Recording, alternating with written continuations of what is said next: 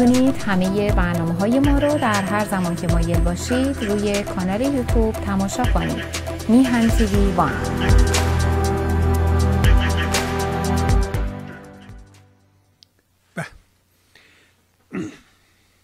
با درودی دوباره خدمت یکایی که شما خوبان و نازنینان. سعید بهبانی هستم در این روز جمعه.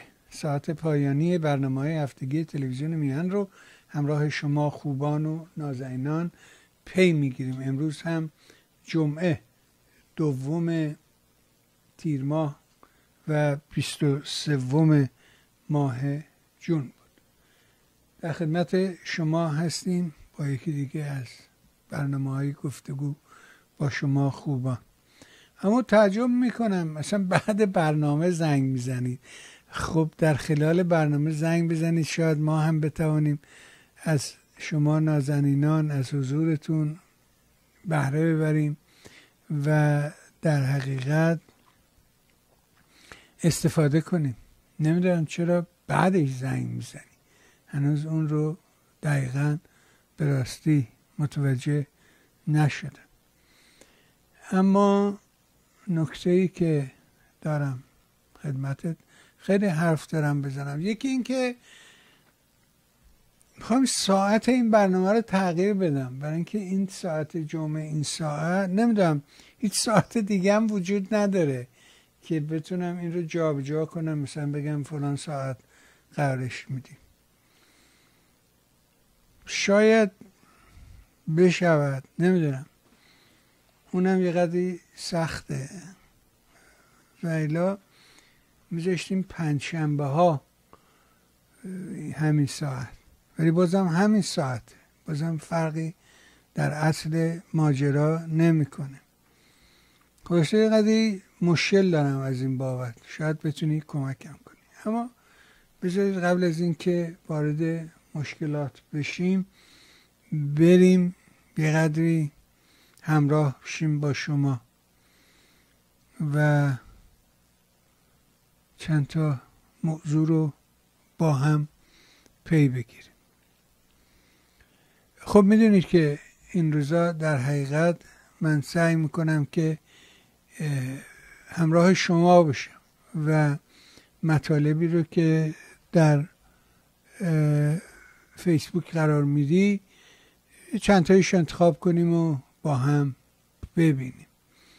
یکی از کارهای جالب این پیدا کردن کارهای حسین پناهی زنده یاد حسین پناهی دوستمون بود.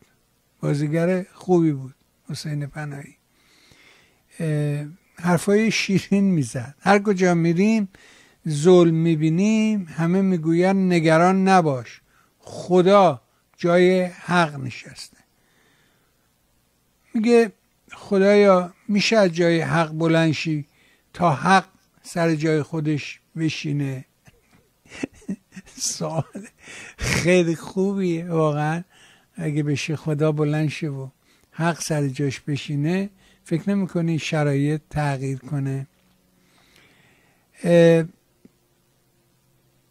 اینم تیکه جالبی است. بذار اینم با هم ببینیم. میگه که 206 روز از حصر پسر ایران در سلول انفرادی زندان دستگرد میگذره توماج همواره درد و رنج این سرزمین را فریاد شده. صدایش باشی من بنزه خودم تلاش کردم در میان پرده ها که موزیک پخش می‌کنم خیلی تلاش کردم که کارهای توماج رو بیشتر پخش بکنم و راست میگه باید صداش باشیم. و اینه که یه آدم تو زندانه مثلا جایی مثل دستگرد نگه دارن خیلی ظلمه. خیلی ظلمه. برای اینکه باز تو تهران جای بزرگتری دیده میشی یا گرچه که در انفرادی هستی. ولی در یه شهر کوچیکی مثل دستگرد یه آدمای دیوونه ای که اونجا نگهبان تو باشن دیگه تکلیفت واقعا روشنه. خانم میزرادگی هم یه مطلب خوبی رو گذاشته بود. نوشته بود که چند ماهه اول انقلاب ملی با همه رنج و سختی هایش پر از مهربانی و گرما و امید بود. چرا حواسمان نیست؟ مگر نه این است که برای نجات از تاریکی به نور نیاز داریم. چرا؟ فضای رسانه‌ای ما ایرانی ها تلخ و سرد شده است. نمی‌دونم مقصودشون کدوم رسانه است. از رسانه که صحبت می‌کنن مقصودش کجاست؟ اگه فقط ایران اینترنشناله که اون از اول گرم نبود. یک پروژه بود و همه معلوم بود. یه آدمایی مثل فرض کنید که همین آقای رمزانپور که همراه همین مردک که در لندن هست مهاجرانی رفتن سراغ شیخ های عرب. اون که می‌گفت یه پولی بدیم به بچم درس بخونه و یه بورسی بگیره و فلان اینا. اینا هم همراه دکتر نوریزاده رفتن. نوریزاده فکر می‌کرد که شاید بتونه یه پولی برای خودش جفت جور کنه اینا رو جلو بندازه شاید کار خودش را بیفته. ولی اینا آدمای نامردی بودن و اون رو گذاشتن پشت سر. هیچ حق حسابی هم بهش بابت خدمت که بهشون کرد بهش ندادن. چون اینا تخم و ترکه های خمینی هستن. قابل اعتماد نیستن. هیچ کدومشون قابل اعتماد نیستن.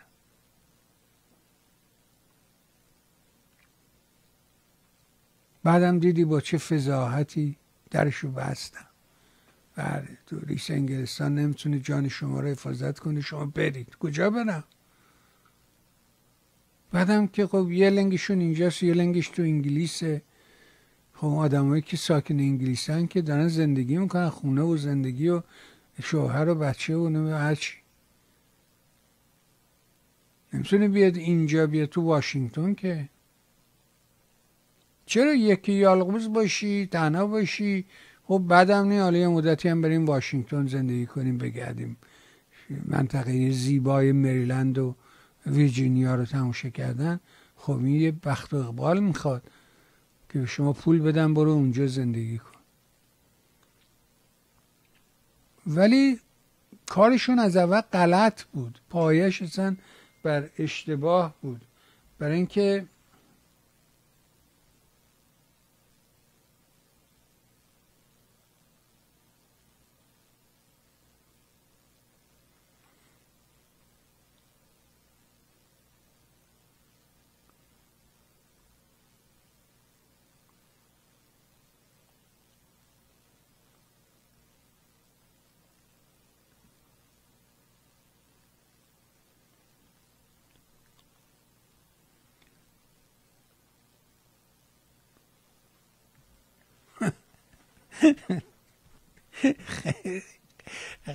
میگه یه راننده تاکسی تعریف می‌کرد. یه روز آهنگ خیلی شاد گذاشته بودم. مسافر حزب رو هم سوار کرده بودم. به مقصد که رسید از ناراحتیش گفت کرایه رو دونالد ترامپ حساب می‌کنه و زد به فرار. منم به خاطر کولت سن نتونستم دنبالش بدوم. ولی چند لحظه بعد صدای زنگ موبایلی به گوشم خورد. دیدم طرف گوشی آیفونش رو جا گذاشته. جواب دادم دیدم خودشه. داره التماس می‌کنه بیا کرایت رو بدم. منم گفتم اتفاقا ترامپ کرایه‌مو داد. تو برو گوشی تو از خامنه ای پس بگیر. خیلی زیبا بود آقای ساسان دست درد نکنه. آره تو این شرایط داشتم می‌گفتم. خب این تلویزیون ایران اینترنشنال از اولش قلابی بود. من یادمه. اون روزای اول که درست شده بود ناشی بودن. نمی‌دونستن فقط دنبال فاکتور پر کردن بودن. کامیشنشون رو بگیرن. یه مبل بزرگ چهار نفره گذاشته بود. فرض کن اینوری. درست اینجور که برات دارم تعریف می‌کنم. بذار بیارم جلو.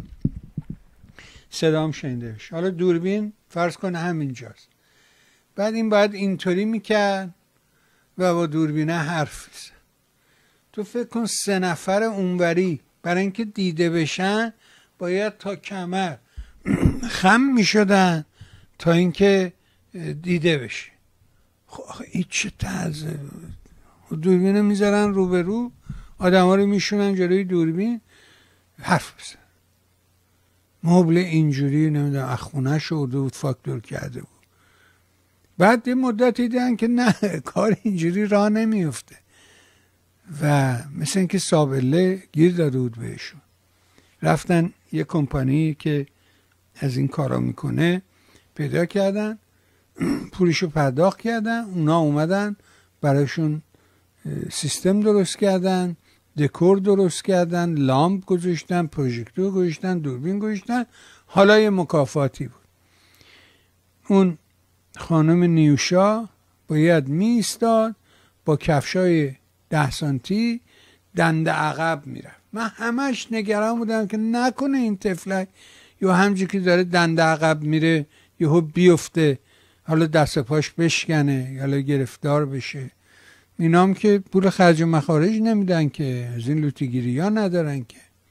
همیشه نگرانش بودن نمیفهمیدم خب این برای چی باید این بازی رو بکنه؟ چرا باید دنده عقب بره؟ چرا باید این کار رو بکنه؟ یه کارگردانی ناشی یه آدمایی ناشی. بعد یه نگاه کردیم دیدیم که آقا اینا میرن از هر جا رفیق رفقاشون رو پیدا می‌کنن. خب دویست دلار میدن اون بیچاره هم خوشحال میشن میرن بالاخره یادم میاد یه روزگاری که جوان بودیم و اینا توی مدرسه بعد دسته ارکستر مدرسه و اینا درست می‌کردیم. بالاخره تو مدرسه یکی گیتار می‌زد یکی جار می‌زد در حد مدرسه. بعد یک برنامه رو گذاشته بودیم توی مدرسه دیگه ای فکر کنم مدرسه یا نوربخش بود یا جامع جمع. دو تا مدرسه دخترانه بودن در شرق تهران که اونا مدرسه مدرنتری بودن. چی بود؟ سالن نمایش داشتن. مثل مدرسه دخترانه پیام که توی نمی‌دونم نارمک بود تو مدائم بود اونجا اون منطقه بود. و یا همین نوربخش و جام جمع خلاصه من یاد دیدم که این بچه ها دارن سرصدا می‌کنن و داد بیداد و اینا. رفتم ببینم که ماجرای داد بیداد چیه. بعد دیدم که پسر که نقش خواننده رو بازی می‌کرد داشت داد بیداد می‌کرد که آقا من 15 تومن پول دادم. اون موقع یه سلمونی معروفی هم تازه درست شده بود تو خیابون بولوار. و مثلا موهای بچه ها رو سشوار می‌کشید 15 تومن می‌گرفت موتو سشوار می‌کشید. اسمش یادم رفت ولی خیلی معروف بود در اون آخرای دهی چهل و اوایل دهه پنجاه. اون چلا هشت چلا نو پنجاه اون موقع رو می‌کرد. بعد پسره میگه آقا من 15 تومن دادم رفتم سرم و سشوار کشتم وقت شما بابت این کاری که من اینجا خوندم هفت تومن فقط به من پول میدی. خب من فقط 15 تومن دادم. سرمو درست کردم. حالا من وقتی ایران اینترنشنال این جوونا رو جمع می‌کرد همیشه اون خاطره برام زنده می‌شد که این بیچاره 200 دلار بهش دادن. این بابت این 200 دلاری که میدن اون رفته 300 دلار داده یه کچهوا خریده. نمی‌دونم سرمونی رفته و فلان اینا. و همینجوری از اینا هنوزم دارن و میجوشن و میان بیرون. و اخیرا دیدم بی بی سی هم همین کارو می‌کنه. خبرنگاری نمی‌دونم روزنامه نگاری در تورین ایتالیا. بعد راجع به مهمترین مسائل روزم حرف می‌زنن. یه نکته که معلومه بر همه ما و اینه که از اول این مذاکرات برجامی که دوره احمدی نژاد در حقیقت کلید خورد دوباره تو همین عمان و خامنه ای آدماشو خارج از دید احمدی نژاد همین باقری و همینایی که هستن فرسته بود عمان که مذاکره کنن با آمریکایی ها. و این داستان مذاکره با آمریکایی ها حرف نو و تازه نیست. اگه یادتون باشه سالهای 2000 2001 بود. یه جنجالی به پا شد که یه سری آدمای معتبر مثل دکتر زندیات دکتر ملکی مثل همین آقای سازگارا مثل آقای زندیات دکتر برغهی خیلی ها بودن. یک نامه مفصلی رو نوشتند و منتشر کردند تحت عنوان ما خواهان مذاکرات شفاف با آمریکا هستیم. و این خواهان مذاکرات شفاف با آمریکا من هیچ وقت از ذهنم دور نشد که ما خواهان مذاکرات شفاف با آمریکایی ها هستیم. پس بنابراین این مذاکرات همیشه وجود داشته. منتها پنهانی. حتی وقتی که در دوره اوباما و همین حسن قاتل پسر که می‌دونی که پسرشو به کشتن داد دیگه. اینم مثل محسن رضایی قاتل پسر خودشه. و یکی از شروطشون این بودش که مذاکرات تحت هیچ شرایطی منتشر نشود.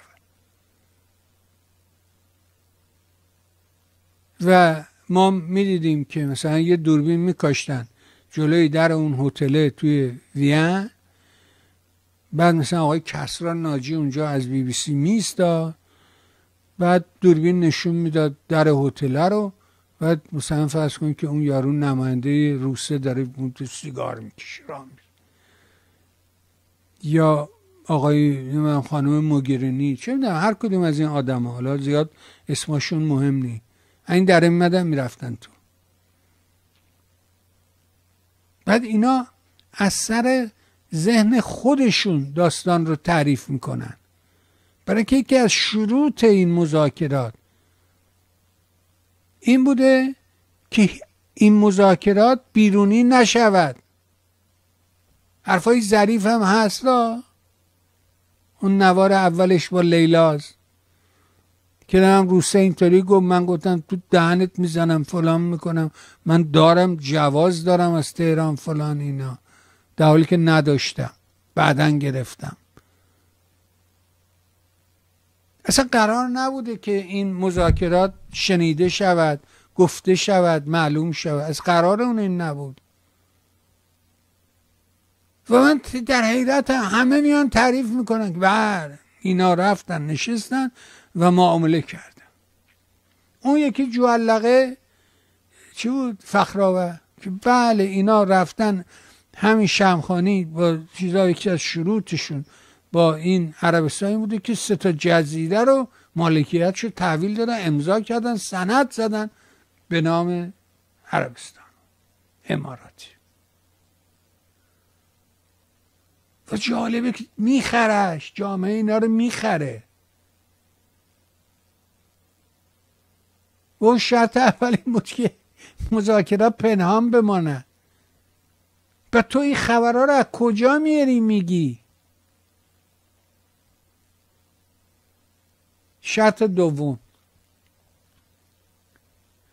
بعد از ماجرای انتقال پول در 2015 و امضای برجام و اون پولی رو که کش چون طبق قانون جمهوری اسلامی نمی‌تونی باش معامله کنی. نقل و انتقالات بانکی نمی‌تونی باش داشته باشی. جرمه همین FATF یا سویفتی رو که بستن بابا اینا رو من هزار بار تعریف کردم.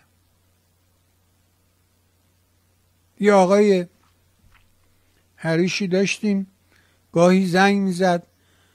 خیلی آدمی بودش که جستجو می‌کرد می‌خوند. واقعا هم می‌رفت می‌خوند. اطلاع داشت. می‌رفت سایت کنگره می‌رفت سایت وزارت خارجه هم سایت های اروپایی رو دنبال می‌کرد هم سایت های آمریکایی رو دنبال می‌کرد و جستجو می‌کرد و در طی این سالها یاد گرفته بود که بین خطوط رو بخونه.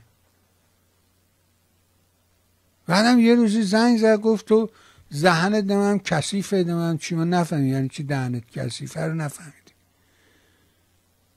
بعدم قرد کرد رفت. انگار که ما التماس کردیم که بیا. ولی اطلاعات خوبی میدن ما اطلاعات منتقل می‌کردیم.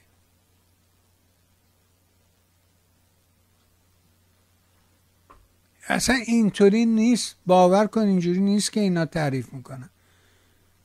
روزنامه نگار ما در نمی‌دونم مملکت سوئیس در زوریخ چی شد آقای حسین زاده بله امروز رفته بودن اونجا دینه بودن که آقای بایدن سندار همه رو امضا کرد پولا رو داد به جمهوری اسلامی. و جمهوری اسلامی خامنه هم پولا رو برداشتن و دارن می‌زنن مردم رو می‌کشن. این نوع خبرها این نوع اطلاعات غلط جز ناامید کردن مردم جز از جمهوری اسلامی یه دیو یه سرد و گوش درست کردن هیچ خاصیت دیگری برای ما نداشته. نمی‌دونم شاید مثلا پروژه می‌خوام برنامه پر کنن چیکار کنن. نگاه می‌کردم دیدم این آقای خب خوب جوون علاقمند باور داره آقای ترامپ اومده بوده که نجات بده ما رو. چجوری تو از یه آدمی که خودش این همه مشکلات اخلاقی داره؟ جلوی دوربین تلویزیون که میلیون نفر در نگاه می‌کنن به دخترش میگه اگه تو دخترم نبودی باید عروسی می‌کردم.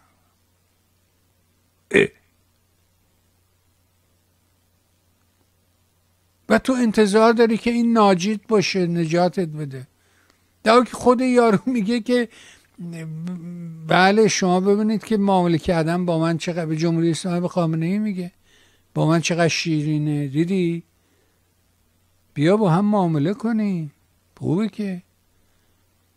به وزیر خارجش میگه آقا مهم نیست طالبان چیکار برو چهار تا عکس بگی بیار.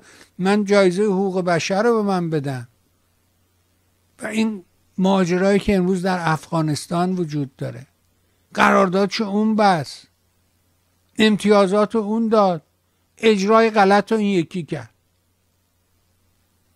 نه اینکه اون بد بوده اون دیو بوده این فرشته. بابا تو آمریکا یه خط داره رو ریل حرکت می‌کنه. تو مملکت ما به خاطر ما شاید به خاطر اخلاقه که یا اونجا بوده دولت تغییر کرد. همه چی رو عوض می‌شد. یهو مینی آبدارچی وزارت خونم دیگه سرش یه وری می‌گیره. اه. اسقر آقا چی شد؟ پس شما همیشه چای می‌دادیم ما هم دو تو هم بهت می‌دادیم. پس چی شد؟ کابینه تغییر کرد. یادتون اصلاحی نه پیرترا یادشونه. کابینه تغییر کرد.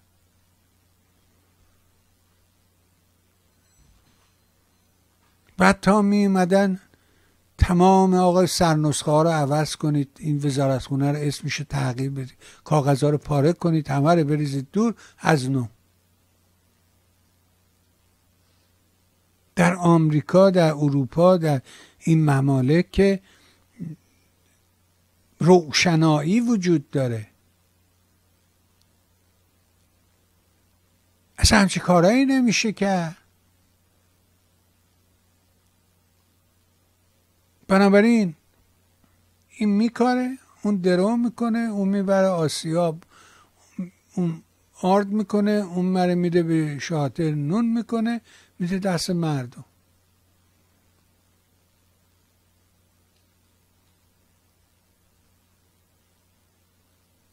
با یه چیزی که محرمانه از قرار بوده کسی خبر ازش نداشته باشه این اطلاعات اینا از کجا میارن برای ما تعریف می‌کنن؟ چرا این سوال ساده رو نمی‌پرسیم برای اینم می‌گفتم که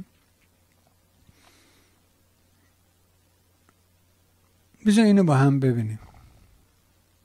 فکر می‌کنم خوب باشه. یادش بخیر مانوک. ایزه. اونا که می‌دونستن شاه احتمال داره بمیره. اونا همون گونه ای که تونستن با آقای جنرال هویزر تمام جنرال های اونها که می‌دونستن شاه مریضه. اونا که می‌دونستن شاه احتمال داره بمیره. اونا همون گونه ای که تونستن با آقای جنرال هویزر تمام جنرال های شاه رو مجبور کنن که در واقع زانو بزنن خب می‌تونستن شاه رو بیرون کنن. با یک کودتای نظامی. خیلی کارهای دیگر می‌تونستن بکنن. چرا نکردن؟ چرا چنین شوی رو اجرا کردن؟ شوه آمدن به اصطلاح یک انقلاب اسلامی. بازی چی بود؟ چه کسی اصلا اداره می‌کرد؟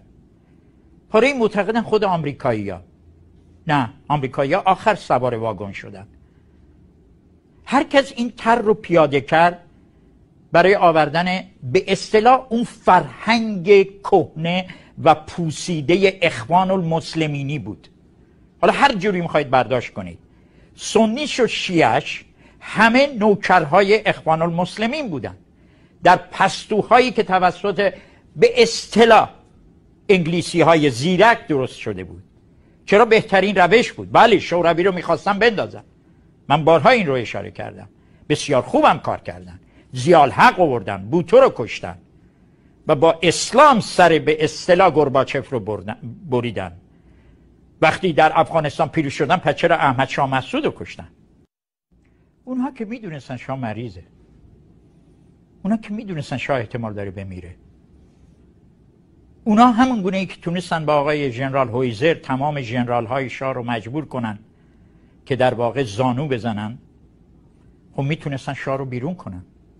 با یک کودتای نظامی. خیلی کارهای دیگر می‌تونستن بکنن. چرا نکردن؟ چرا چنین شوی رو اجرا کردن؟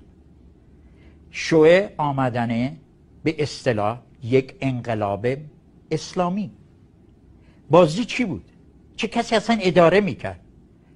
پاره معتقدن خود آمریکایی ها نه آمریکایی آخر سوار واگن شدن. هر کس این تر رو پیاده کرد برای آوردن به اصطلاح اون فرهنگ کهنه و پوسیده اخوان المسلمینی بود. حالا هر جوری می‌خواید برداشت کنید. سنیش و شیعش همه نوکرهای اخوان المسلمین بودن در پستوهایی که توسط به اصطلاح ببین این فرق می‌کنه. مانو داستان گذشته ای که معلومه. معینه. میشه بری ببینی تاریخ بخونی. خاطرات اینا خاطرات اونو بخونی. هیچ وقت یادم نمیره.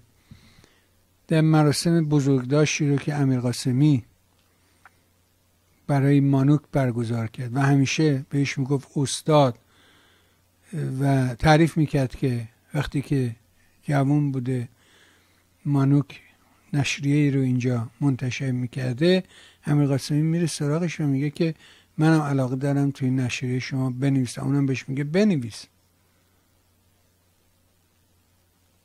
و همیشه حرمتش داشت حفظش می‌کرد. خب چند روز پیشا می‌دونی که با خبر شدیم که عریضای سپاسی هم از میان ما رفت.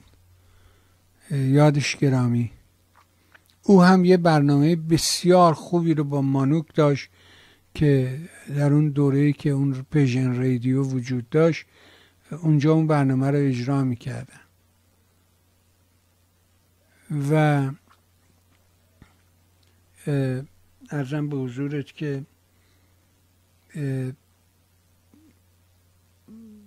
به همین مناسبت اصلا برنامه رو به هم زدن. و اون رو از اون رادیو اخراج کردن یه مدتی اومد پیش ما ولی چون نمی‌تونست یه جاب به بشه و اینا رفت که نمیم خودش یه سیستم درست کنه. و در اون کارم نتونست اون کار رو انجام بده. ولی مقصدم این که برنامه خوبی با مانوک داشت. داشتم راجع به مراسم بزرگ داشته مانوک بعد از فوتش می‌گفتم که امیر قاسمی ترتیب داده بود و دوستان مانوک رو دعوت کرده بود.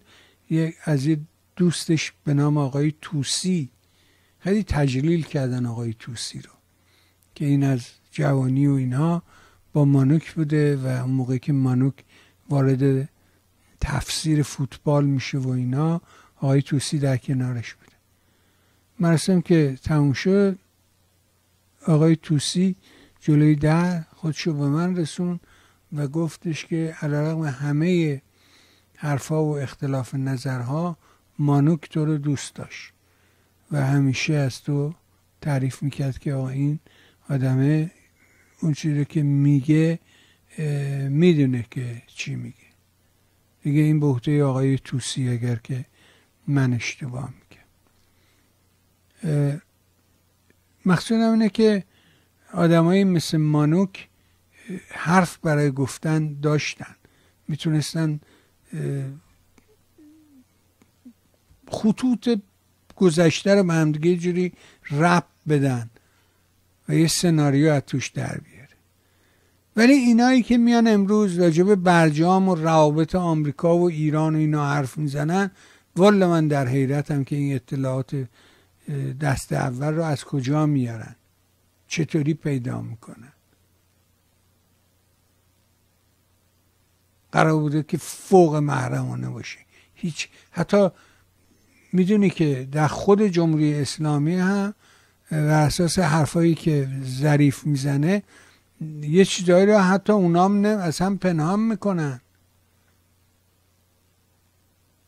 بعد اینا میشینن. میگن بله آمریکا تصمیم گرفت و غرب و شرق و همه به جمهوری اسلامی پوهن دادن. یه مقاله خوبی آقای مهران مست... دکتر مهران مصطفی نوشته. دوشنبه ازش خواهش کردیم که در خدمتش بشه داستان اکتبر سپرایز رو تعریف می‌کنه.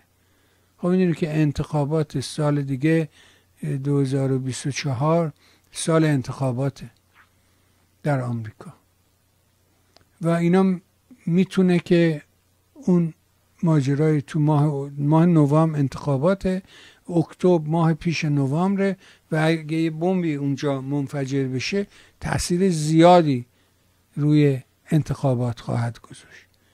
بنابراین بایدن داره تلاش می‌کنه که از اکتبر سپرایز جلوگیری کنه.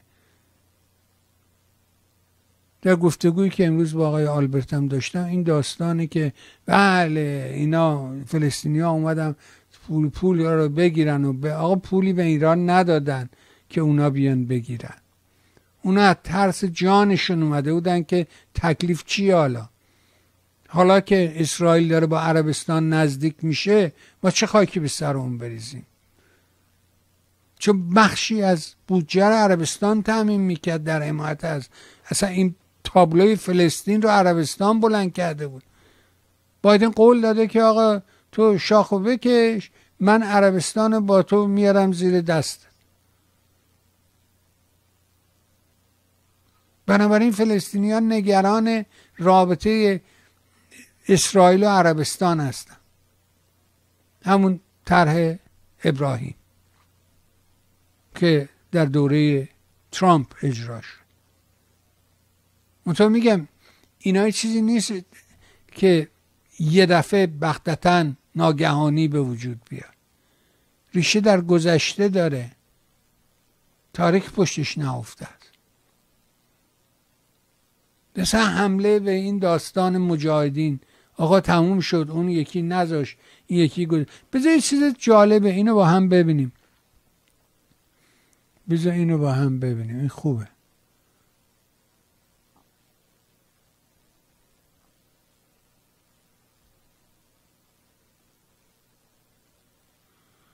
این رو با هم ببین اذیت نکن ما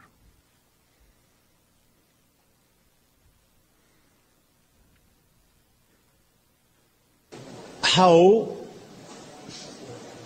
let's be clear i don't believe one second in a regime change and when i when i hear a lot of people advocating for regime change i, I would just ask them for which change who's next who is your leader How to implement it and we experienced several times during the past decade a lot of regime change in a lot of countries it's total failure So, how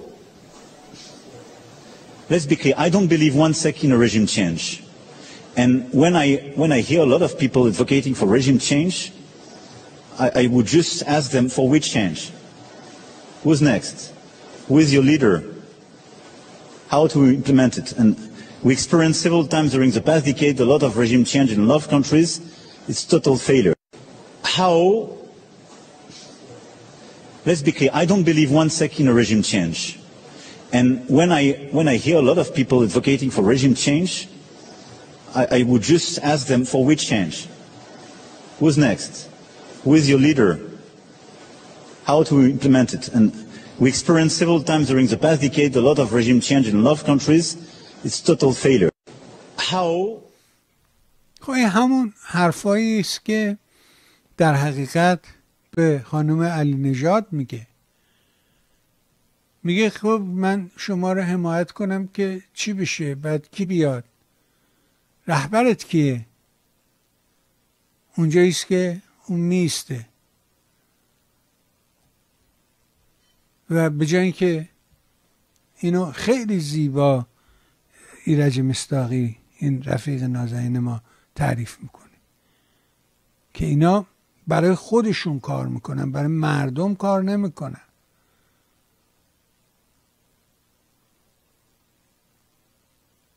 جای اینکه بیسته بره پشت رضا پهلوی اونو بلدش کنه بزرگش کنه. یا اینه. خودشو می‌خواد بکشه بالا.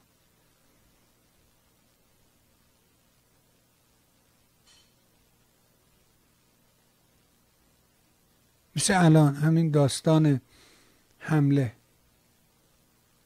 به مقر اشرف.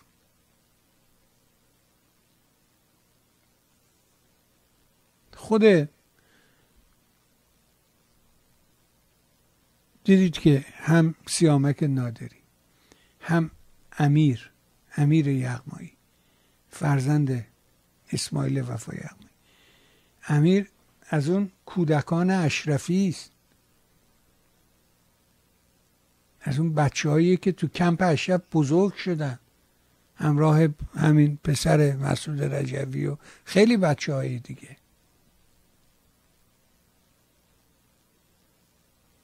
بعد دوباره تو سالهای 93 و 4 بود که بچه ها رو فرستادن بیرون. چه داستان های جنایت هایی که اینا مرتکب نشدن چقدر زیبا امیر تعریف کرد. که آقا اینا دولت در دولت می‌خوان درست کنن.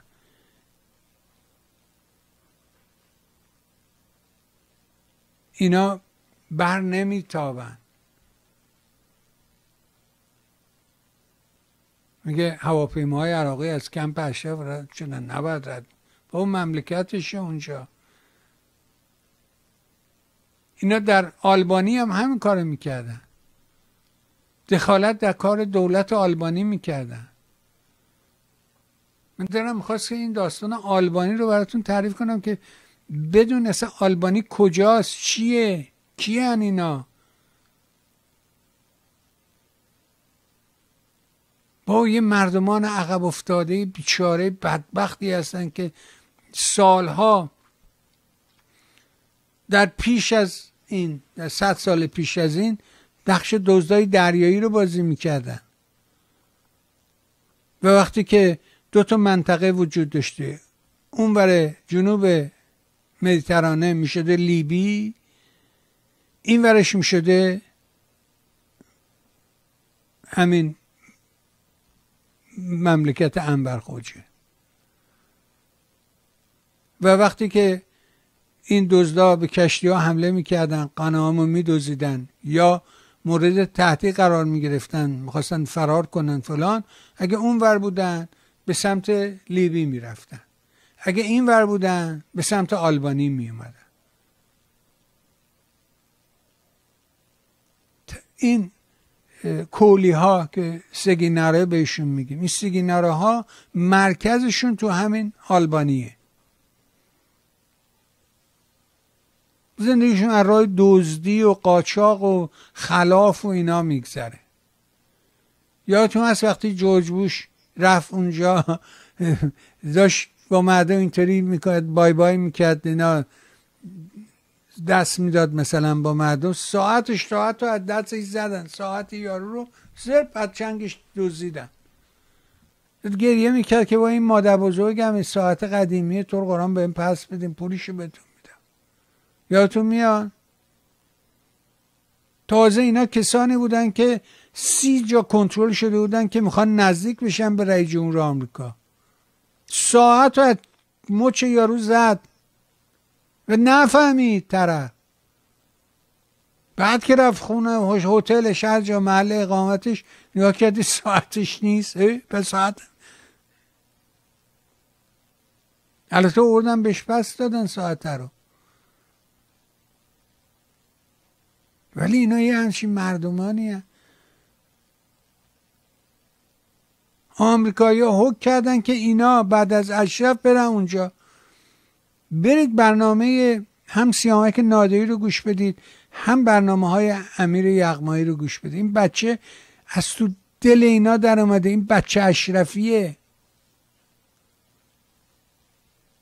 و کامنت های زیرش رو بخون که مجاهدین گذاشتن. طرفداران این فرقه پلید.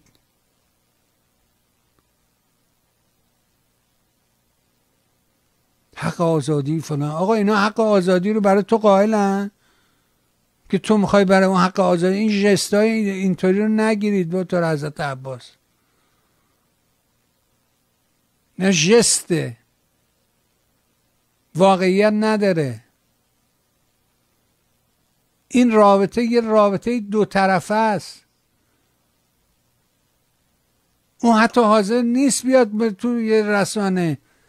اون حاضر نیست با هیچ کسی بنشینه. خودشو برتر می‌دونه. میگه رضا بچه شاه. بچه شاه. بچه شاه. لفظ تحقیر.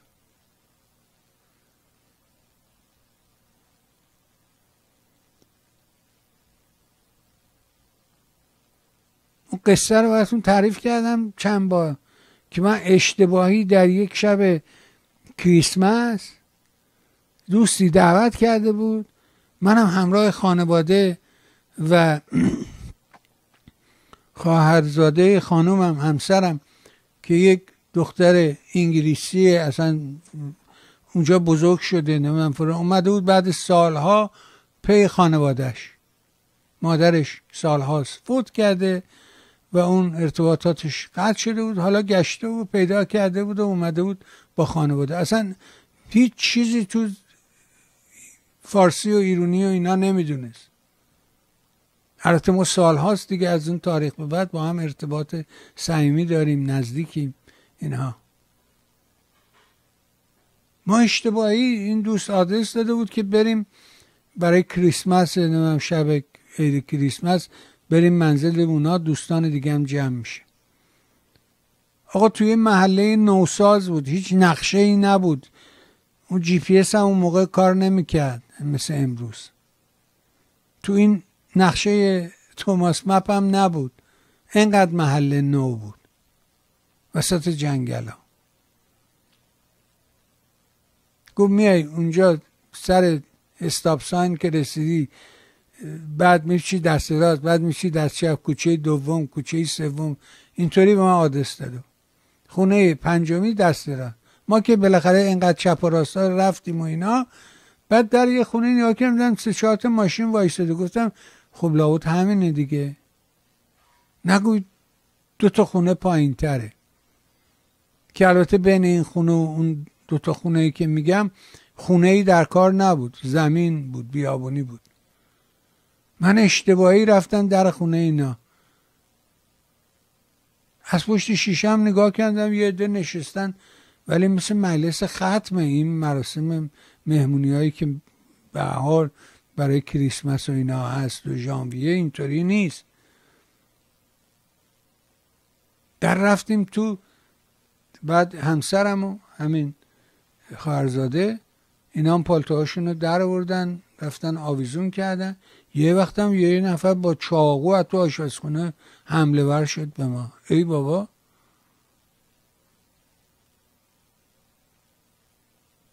بعد یکی به اون وسط گفت نه آقا اینجا نیست شما اشتباهی اومدید دو تا خونه جلوتره. اینا چنین موجودات خبیسی هستن. که گفتم آقا ما ایرانی هستیم.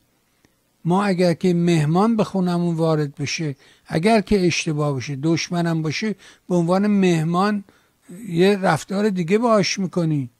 چه رفتار زشتیه شما با من می‌کنی؟ و این زن بچه میلرزیدن از وحشت که چه اتفاق گفتم بری کتون بعد این فرار کنی. اینا دیوونن. رفتارشون رو تو استوکن با من دیدید.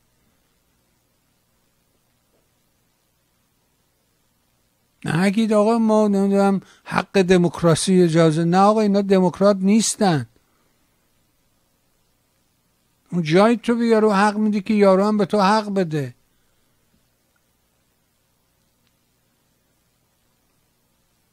نمی‌تونی جلو پلیس وایسی که پلیس که با حکم قضایی اومده.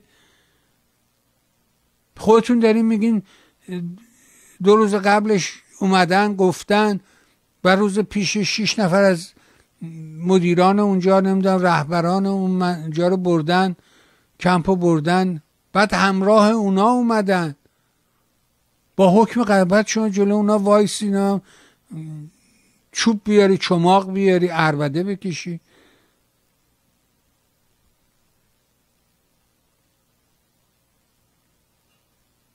نه آقا معنای دموکراسی و نمی‌دونم خوب بودن و اینا این شکلی نیست. من با جمهوری اسلامی هیچ گونه سلام علیکی ندارم هیچ حقی بهش نمیدم. برای اینکه اون هیچ حقی به من نداده. مجاهدینم مثل اونن. نگید این حرفا رو. من آدم خوبی هستم من خیلی. نه آقا آدم خوب بودن معناش این نیست.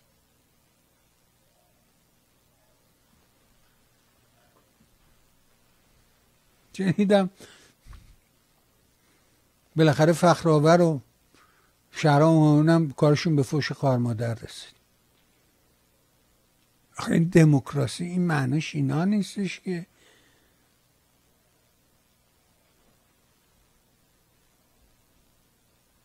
ببینید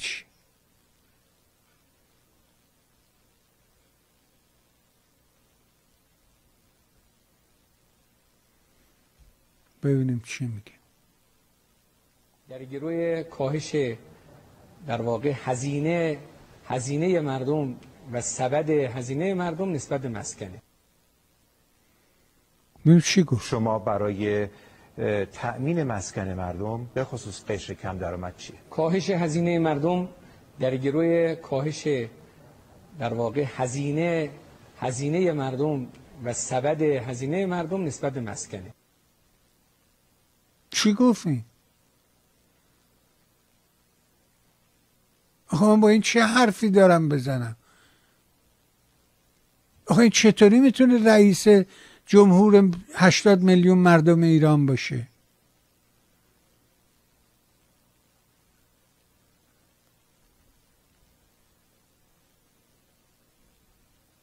بالا ما که نفهمید.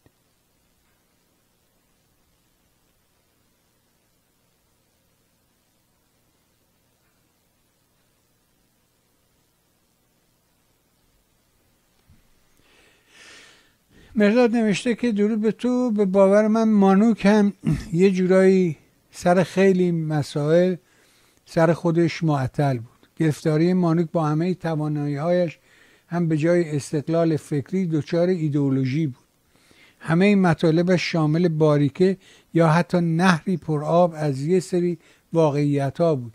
ولی به حال قاطرش نهایتا سر از کوره راه دیدگاه شاه پرستی و بزک و رفو کردن اشتباهات نظام شاه در می آورد شاخصه تحلیل هایش هم رنگ تفسیر فوتبالی داشت.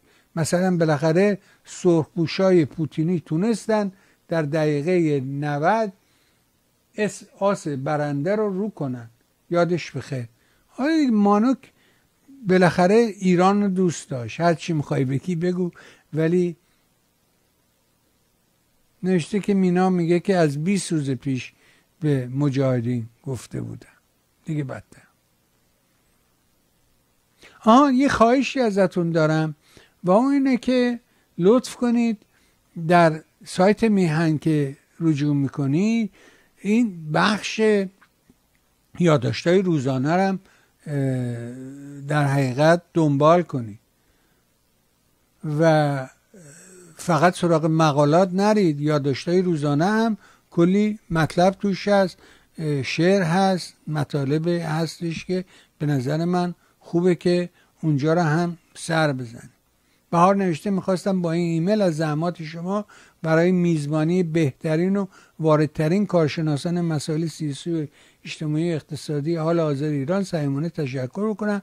فعالیت تلویزیون شما در جهت آگاهی سازی جامعه ایران نقش بسیار پررنگی داره. مطمئن هستم همه بیننده های شنونده های برنامه های متنوع میهن تیوی قدردان تلاش های بیوقفه شما هستن یاد حرفای تاج میفتم تاج اسمانی می‌دونی که یک خواننده بزرگ ما بود تاج. یادش گرامی. تاج اسمان و یکی از شاگردای سید احمد مراتب تعریف می‌کرد و میگفتش که تاج یه بار روی صحنه که رفته بود برای مردم آواز بخونه و اینا ناگهان دست کرد تو دوتا جیبای شلوارش اینطوری در آورد و گفت با اون لحچه شیرین اسفانی گفت آ جیبای تاج پر از کف است آ فقط برام کف زدم. و حالا ممنون از شما. و زحمات شما. ما هم از شما تشکر می‌کنیم. یه ویدیو هم هست که نرگس فرستاده مراسم خط سرون نوه قالیباف در کشته تفریح در آنتالیا عدالت اسلامی ناب ناب. اما چون این داستان یوتیوب داریم و, و ماجراهای آهنگ پخش نکردن در یوتیوب اجازه بده که این رو پخش نکنم. همین. به همین خلاصه کنم. و بعد آها اینم جالبه اینم با هم ببینیم و بخندیم. میگه که معلم یک کم گذاشت رو میز و یه قطعه از مشروب الکلی ریخ روش. کرم نابود شد. بعد گفت دیدی چی به سر کرم اومد؟ چه نتیجه ای می‌گیریم همه با هم گفتن باید مشروبات الکلی بخوریم تا کرمای بدنمون از بین برن. معلم دید اینا زبون آدم نمی‌فهمن. یه ظرف پر مشروب گذاشت جلوی یه اولاغ و به بچه ها گفت ببینید حتی اولاغ هم از این نمی‌خوره. چه نتیجه ای می‌گیریم؟ همه با هم گفتن نتیجه می‌گیریم هر کی نخوره خره. خب اینم فکر می‌کنم که خیلی قشنگ بود و ممنون از شما. و این کارهای زیبایی که گاهی توی فیسبوک برای ما میفرستید و منم سعی می‌کنم که اینا رو جمع کنم و اینجا برای شما بیارم و به نمایش بذارم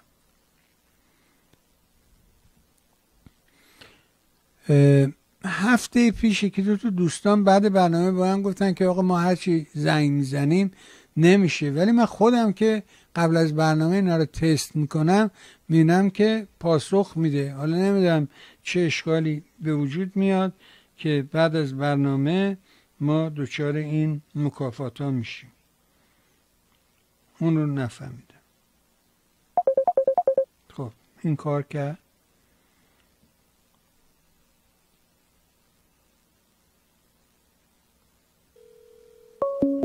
این هم کار کرد. پس بنابراین تلفن کار می‌کنه. دیگه اگه زنگ نزدین مسئول شمایید نه من. باز برگردم به همین موضوعاتی که دلم خواست بیشتر راجبش باتون حرف بزنم. گفتم ما مشکل فراوان داریم و یکی از مشکلاتی که جامعه ما باش یه برنامه بسیار خوبم امروز آقای شاینپر داشت. هفته پیشم برنامه خوبی داشت. ولی متاسفانه دیدم که کامنت ها خیلی طرفه و اصلا وحشتناکه. یعنی هیچ جامعه علا رقم این که میگه که بله آقا خیلی خیلی. اصلا شما الان برو با اونا حرف بزن شما چون نمی‌دونی. اصلا خیلی اینقدر ولی من کامنتار که می‌خونم که دیروز به یکی می‌گفتم می‌گفتم آقا من نمی‌شناسم. من اون جامعه رو نه من اگه الان نمی‌دونم خواهرزادم ببینمش تو خیابون نمیشناسمش. نمی‌دونم این کیه.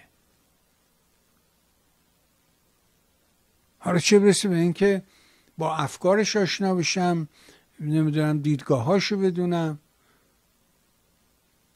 ولی این بچه رفیقم که اینجاست چرا باش حرف می‌زنم؟ دیدگاهشم می‌دونم. ارتباط برقرار می‌کنیم. ولی اینکه میگه که نمی‌دونم خیلی تغییر کرده شما برید کامنت ها رو بخونید.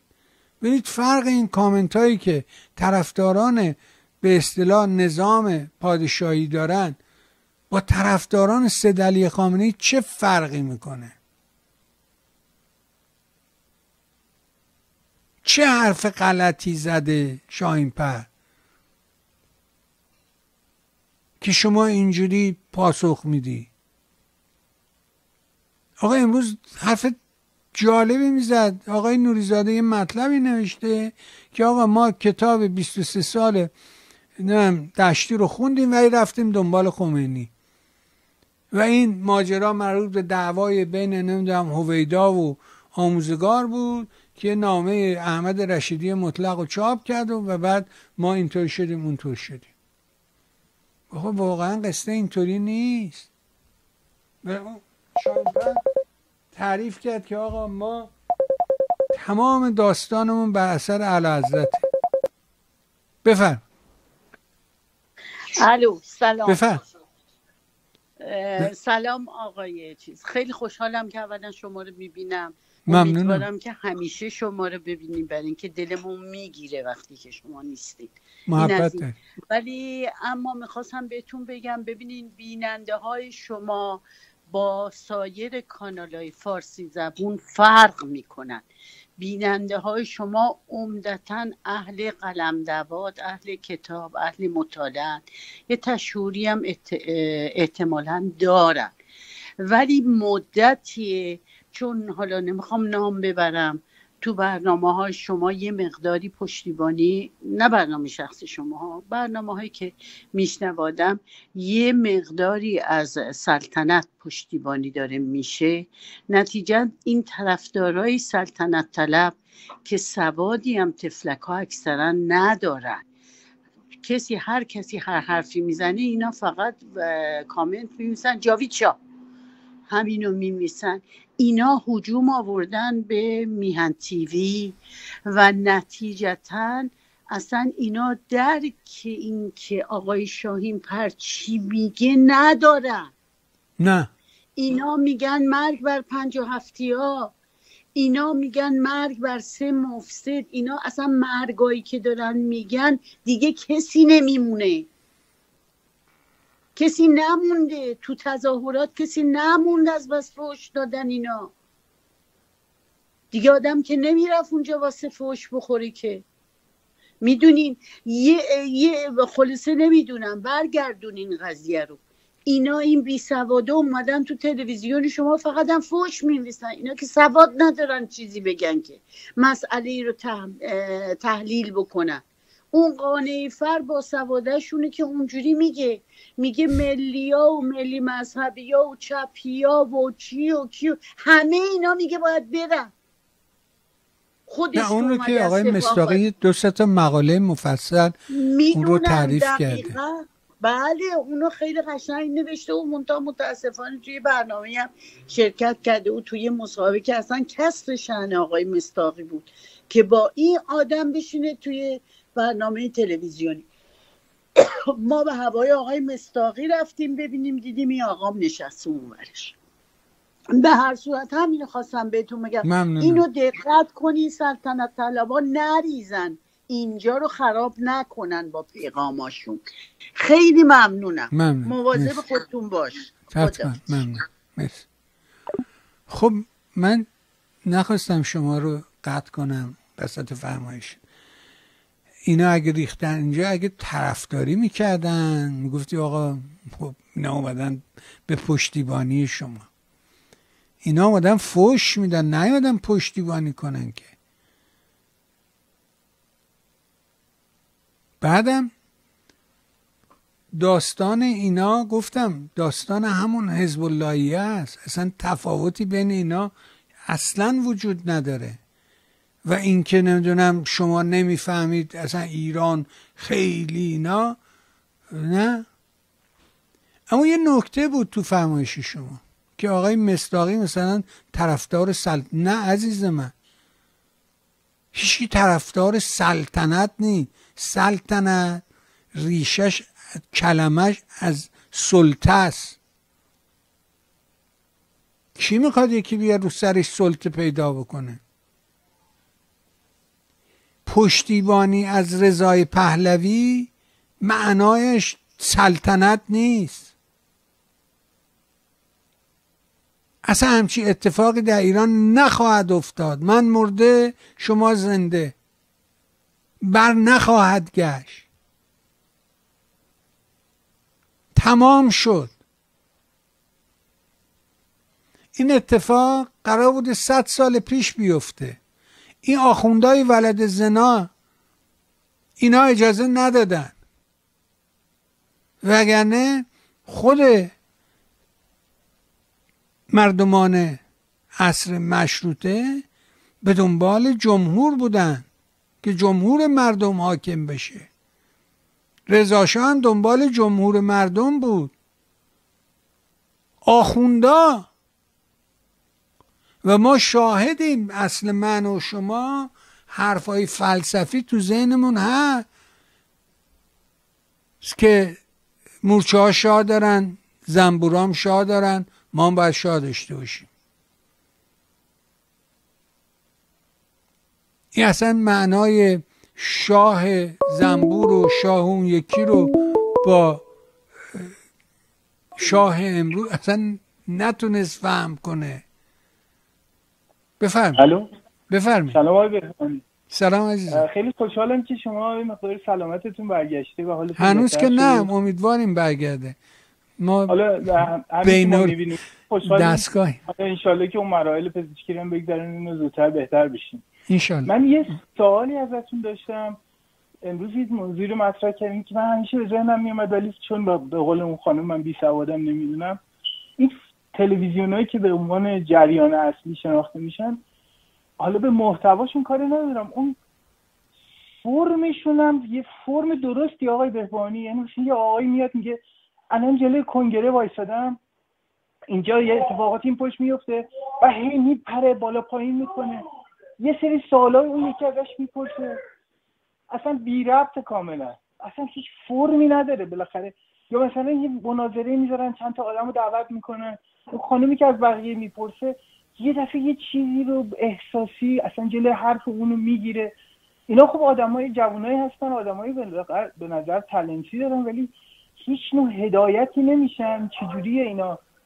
به نظر شما که آدم واردی تو کار رسانه هستیم اینا فرمشون حالا اصلا خارج از محتواشون. نه دیگه گفتم فرمشون که. غلطه دیگه. فرمش هم غلط بوده از اول. بله. فرمشون هم یه غلط. سوال یه سوال دیگه هم داشتم. شما گفتین امروز در مورد برنامه آقای شاهینپر. من البته اینو به صورت تأخیری دیدم. متاسفانه نمی‌تونم برنامه زنده ببینم. ولی ایشون راجع به یک پروسه در quality improvement در ژاپن همیشه صحبت می‌کنن. من البته دقیقا استاد توضیح نمیده که این منظورشون کدوم program ه. ولی خب معروف ترین program program کایزنه کمپانی تویوتا ایجاد کرده. بعد بلا فاصله بعد از اینکه اینو مطرح می‌کنن راجع به مردم ایران صحبت می‌کنن. اولا اینکه اون program کایزن اصلش people respect ه. خب درسته مردم ما مشکلاتی دارن ولی اون program اصلش آدم حساب کردن مردمه. کی توی ایران؟ سوال من اینه کی توی ایران مردم آدم حساب کردیم؟ چه روشن فکرش چه تحصیل کردش چه دولتیش چه شاهیش چه مجاهدش چه فداییش هر کی. مردم آدم حساب کردن اصل کایزن بوده. یعنی میگی اگه یه کسی که جنیتوریال تو داره نظافتچی هستش؟ میاد میگه آینه توییتا رو میشه اینجور بهتر پاک کرد؟ میگه آقا این اینو حتما ما بررسی می‌کنیم. می‌بریم تو سیکل PDSA و بررسی می‌کنه و بعد به یارو میگه تبریک میگم که به شما شما اینو به ما گفتیم البته حرفتون درست نبود. امیدوارم حرف بعدیتون درست بشه. یعنی آدم حساب کردن مردم اصله. مردمی که هیچ وقت آدم حساب نشدن. هیچ وقت در نظر گرفته نشدن. ازشون توقع داشتن کجای کاره؟ اوتوریتی دن رسپانسیبیلیتی کی اتوریتی داشتیم؟ من از تلویزیون میشنوم خیلی ممنون. ممنونم. نه درست میگی من یه خاطره از این داستان تویوتا برات بگم و اون اینه که من یه برادری دارم. برعکس من. واقع میگم اینو. نه تعارف و اینا نیست. بسیار آدم دانشمندی. یعنی واقعا درساشو خوب خونده. و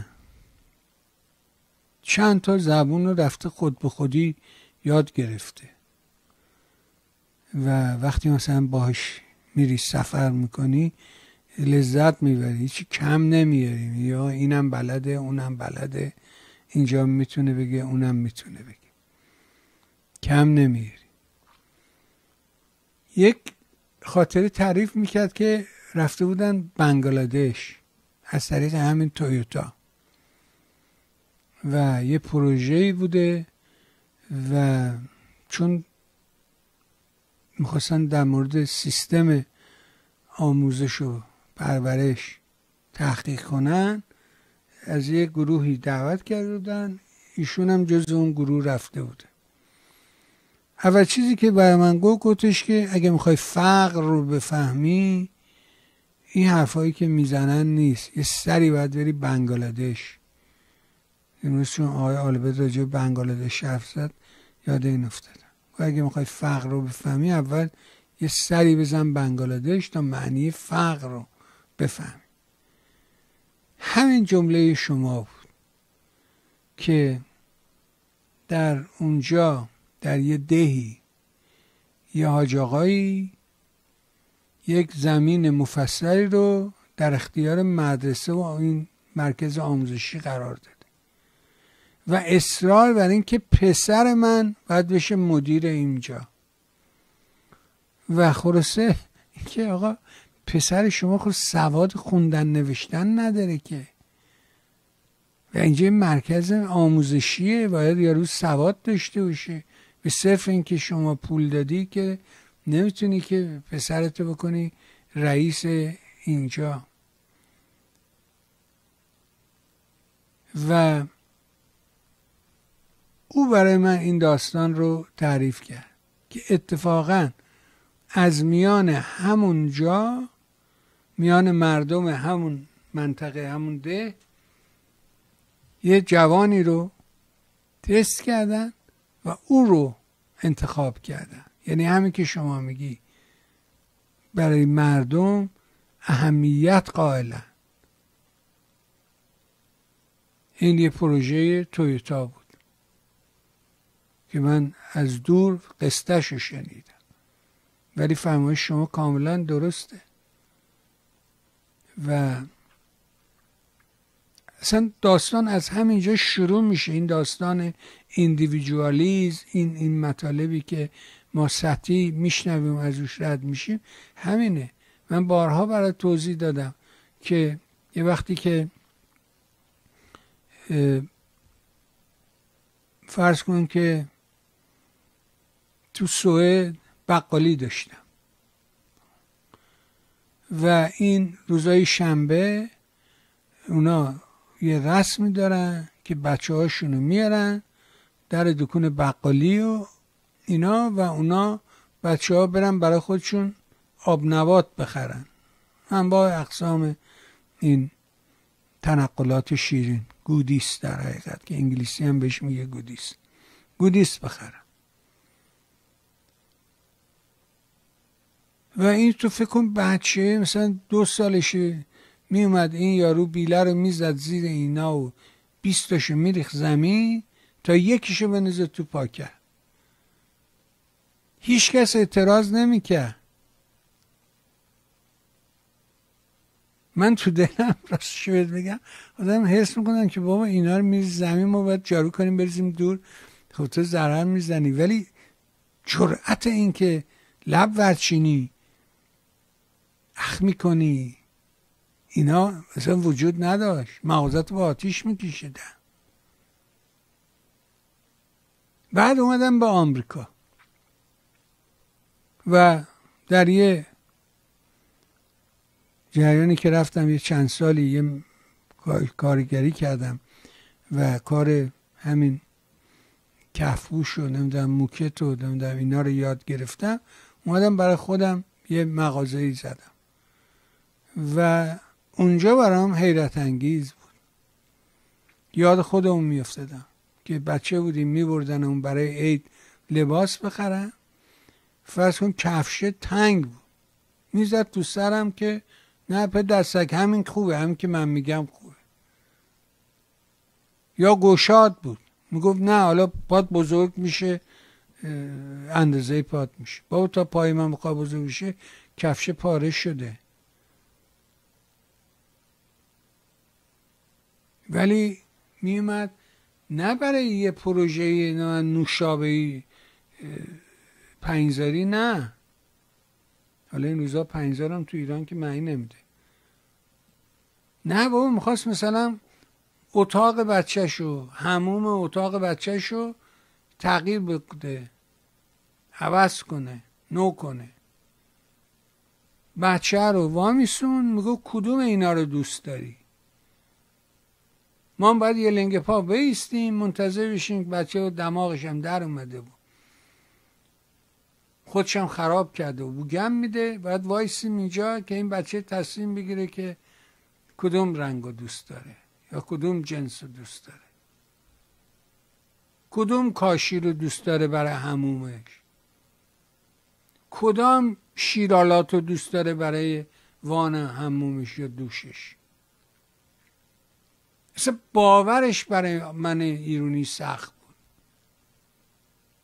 از اینجا شروع میشه. و شما درست میگی همین رفتار ادامه پیدا می‌کنه. تا اونجایی می‌رسی که اون خانم تعریف کرد. که میاد میزنتت. ببین در مورد همسر شاهزاده من حرف زشتی که نزدم که حرف بدی که نزدم. از خانوادهش تعریف کرده از برادرش از خواهرش. بابا این بچه بود برادرش یه آدمی بودش که در بیزنس و اینا موفقه. درس خون این بچه درس نخون که.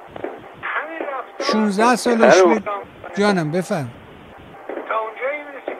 بفهم میهن می‌خواستم صحبت کنم. بفهمی بفهم صدای اونو کم کن با هم من اسمم کاظمی از فرانسه. بفهمی اونو کم کن اونو کم کن. تلویزیون تو کم قربون. تلویزیون تو کم کن دیگه.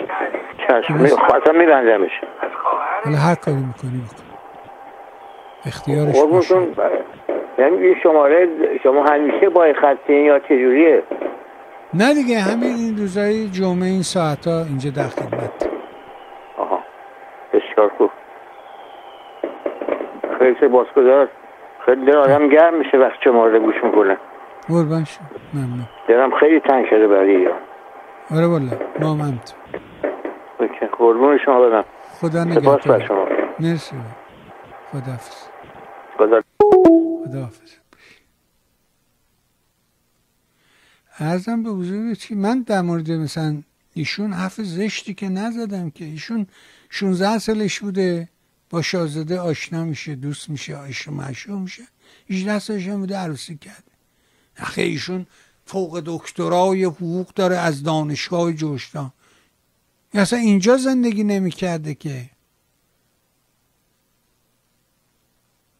ایشون در ساکرامنتو زندگی می‌کنه تو شمال کالیفرنیا پایتخت کالیفرنیا. می‌پرسم هنوزم می‌پرسم آیا شما برادر ایشون رو می‌شناسین؟ نه. کی می‌شناسه برادر ولی ایشون رو می‌شناسی. به چه اعتبار ایشون رو می‌شناسی؟ همسر شاهزاده این که بیای بگی که من یا آدم مستقل خیلی آدم 6 میلیارد 7 میلیارد آدم مستقل وجود داره. ولی کسی نمیشناس کسی نمیره دنبال اون حرف اونا که سیصد چند میلیون آدم تو آمریکا وجود داره.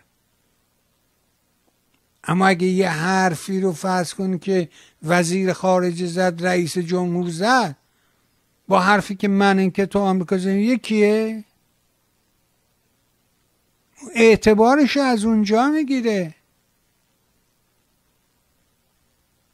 شما اعتبارتو از اونجایی می‌گیری که همسر شاهزاده ازا پهلوی هست اگه اون رابطه رو نداشتی کی شما رو میشناخت همون گونه کسی برادرتو یا خواهرتو نمی‌شناسه.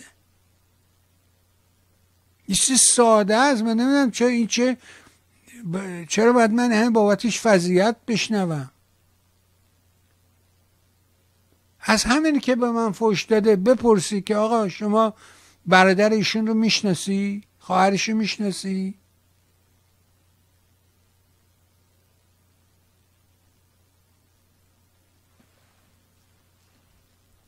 دایی ایشون. می‌دونی کی بوده؟ دیگه نزد دهنمو وا کنه. دیگه اون وقت میان حکم قتل همون میدن. آدم فاسد بود.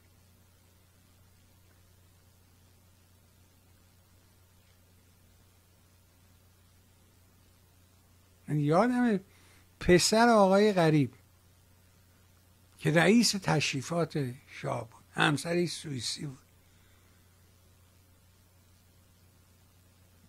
یه فرزندی داشت اینا دو قلو بودن. یه قلوشون تو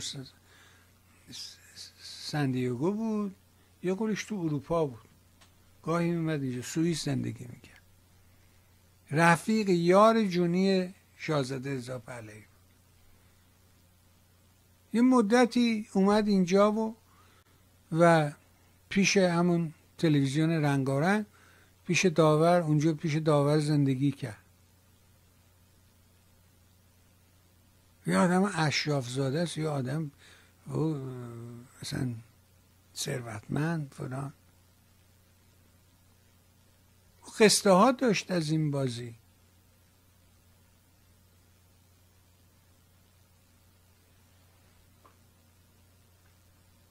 بعد میگم آقا شما یه نوار داره ایشون اون نواره موجود پاکش کردن ورش داشتن. که سامان اربابی و خانم علی نژاد دوتایی رفتن دیدن این. در عید نمی‌دونم نوروز 2019 ایشون میگه من به بچه هم اصلا فارسی یاد ندادم. برای اینکه اینا ملت ناسپاسن فلانن. تو خانوما بحث سیاسی. اینا گفتی با پاک کردن نواره که این حرفا پاک نمیشه که. تا قیام قیامت هست. یه روزی اون نوار رو یکی در میاره بالاخره. چون تو آرشیو صدای آمریکا هست روی یوتیوب نیست. یه روزی یه کسی از تو آرشیو اونو بالاخره بیرون خواهد کشید. حالا دری به تخت خود دیدی مسیح پریده تو گفتی من چرا نیام؟ بعدم هم تکرار می‌کنم اگر که فرض کنید که اینجا ما تایید می‌کنیم شاهزاده رضا پهلوی رو یعنی دنبال سلطنت نیستیم که.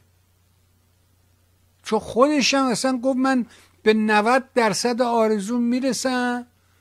اینو 2011 12 با سیامک دقانپور میگه. گفت من به 90 درصد از آرزونم می‌رسم اگر در ایران جمهوری شود.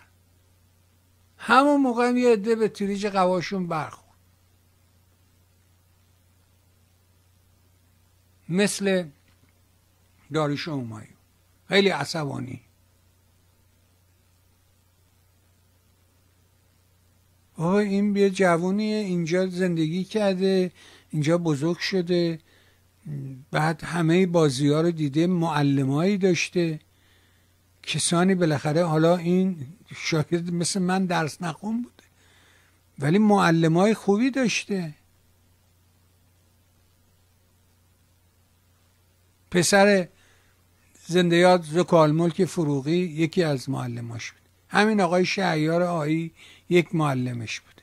دکتر ودیعی میگه علا به من حک کردن که همون گونه که در ایران چون که اینا توی مدرسه ای می‌رفتن که مدرسه دربار اسمش بود. که این بچه های دربار و غیره و اینا اونجا درس میخوندن.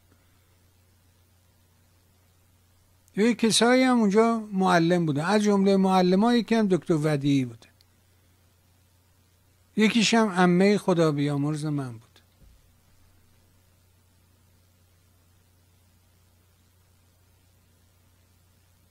بدر سادات بهبانی میگه شاه به من هم فرموده همونطور که در ایران این رو تحت تعلیم قرار داده بودی این کارتون در اینجا هم ادامه بدی.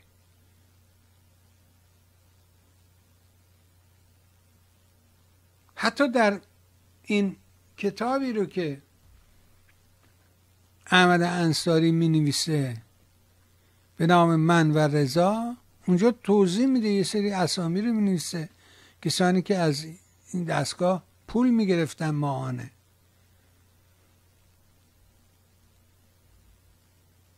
ولی ما که اهل کتاب خوندن نیستیم. اگرم بخونیم تازه بعد آخرسن میگیم راوی مغرض بود.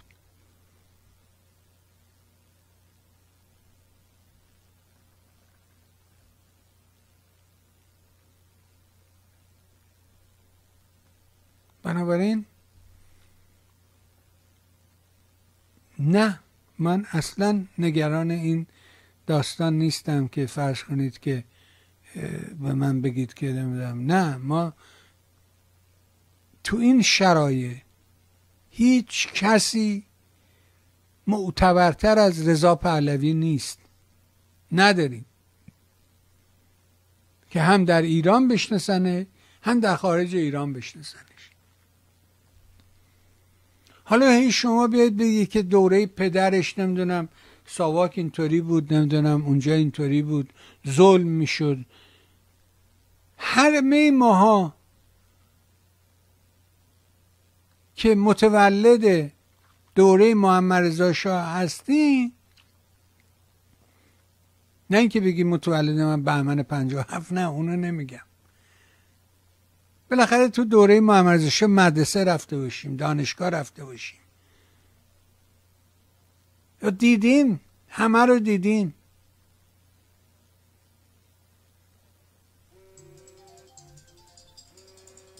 اوه. لطفا ببخشید. الو؟ This is he.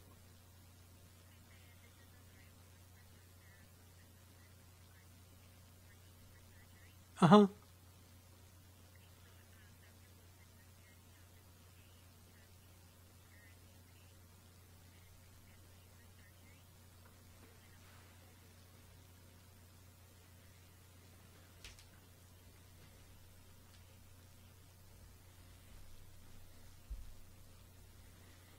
Okay. Which day is that? Thursday. At one o'clock.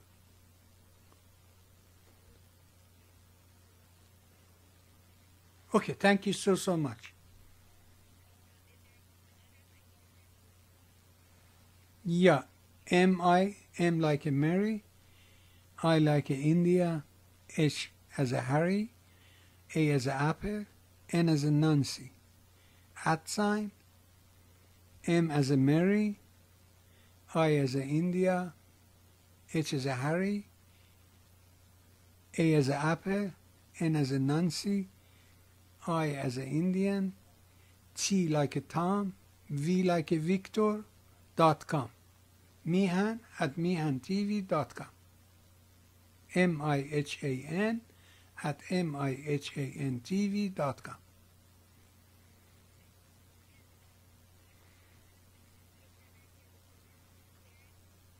Sure, I did that. I left the paper with them. I'm going to go there tomorrow and follow up.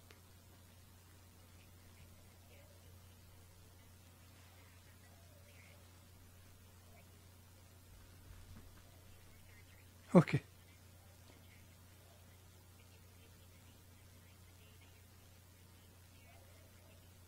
Sure. Okay, I'll give you a call back. Yeah. Thank. Thank you. مرسی.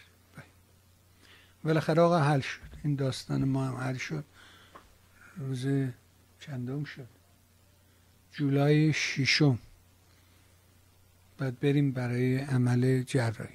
اینم بالاخره گره کور باز شد. اما چقدر مکافات بود این داستان ما.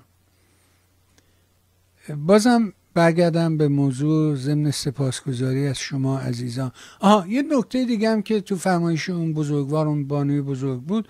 آره عزیز من من همیشه اصلا جز اعتقاداتم همین هست که اعتبار هر رسانه به مخاطبشه. یعنی اگر که فرض کنید که یه رسانه رو میگن رسانه زرد یه رسانه رو میگن رسانه سرخ هر چی ازش تعریف می‌کنن بر اثر ارزم به حضور شما که مخاطبشه. رنج مخاطب رو پیدا می‌کنن بر اساس اون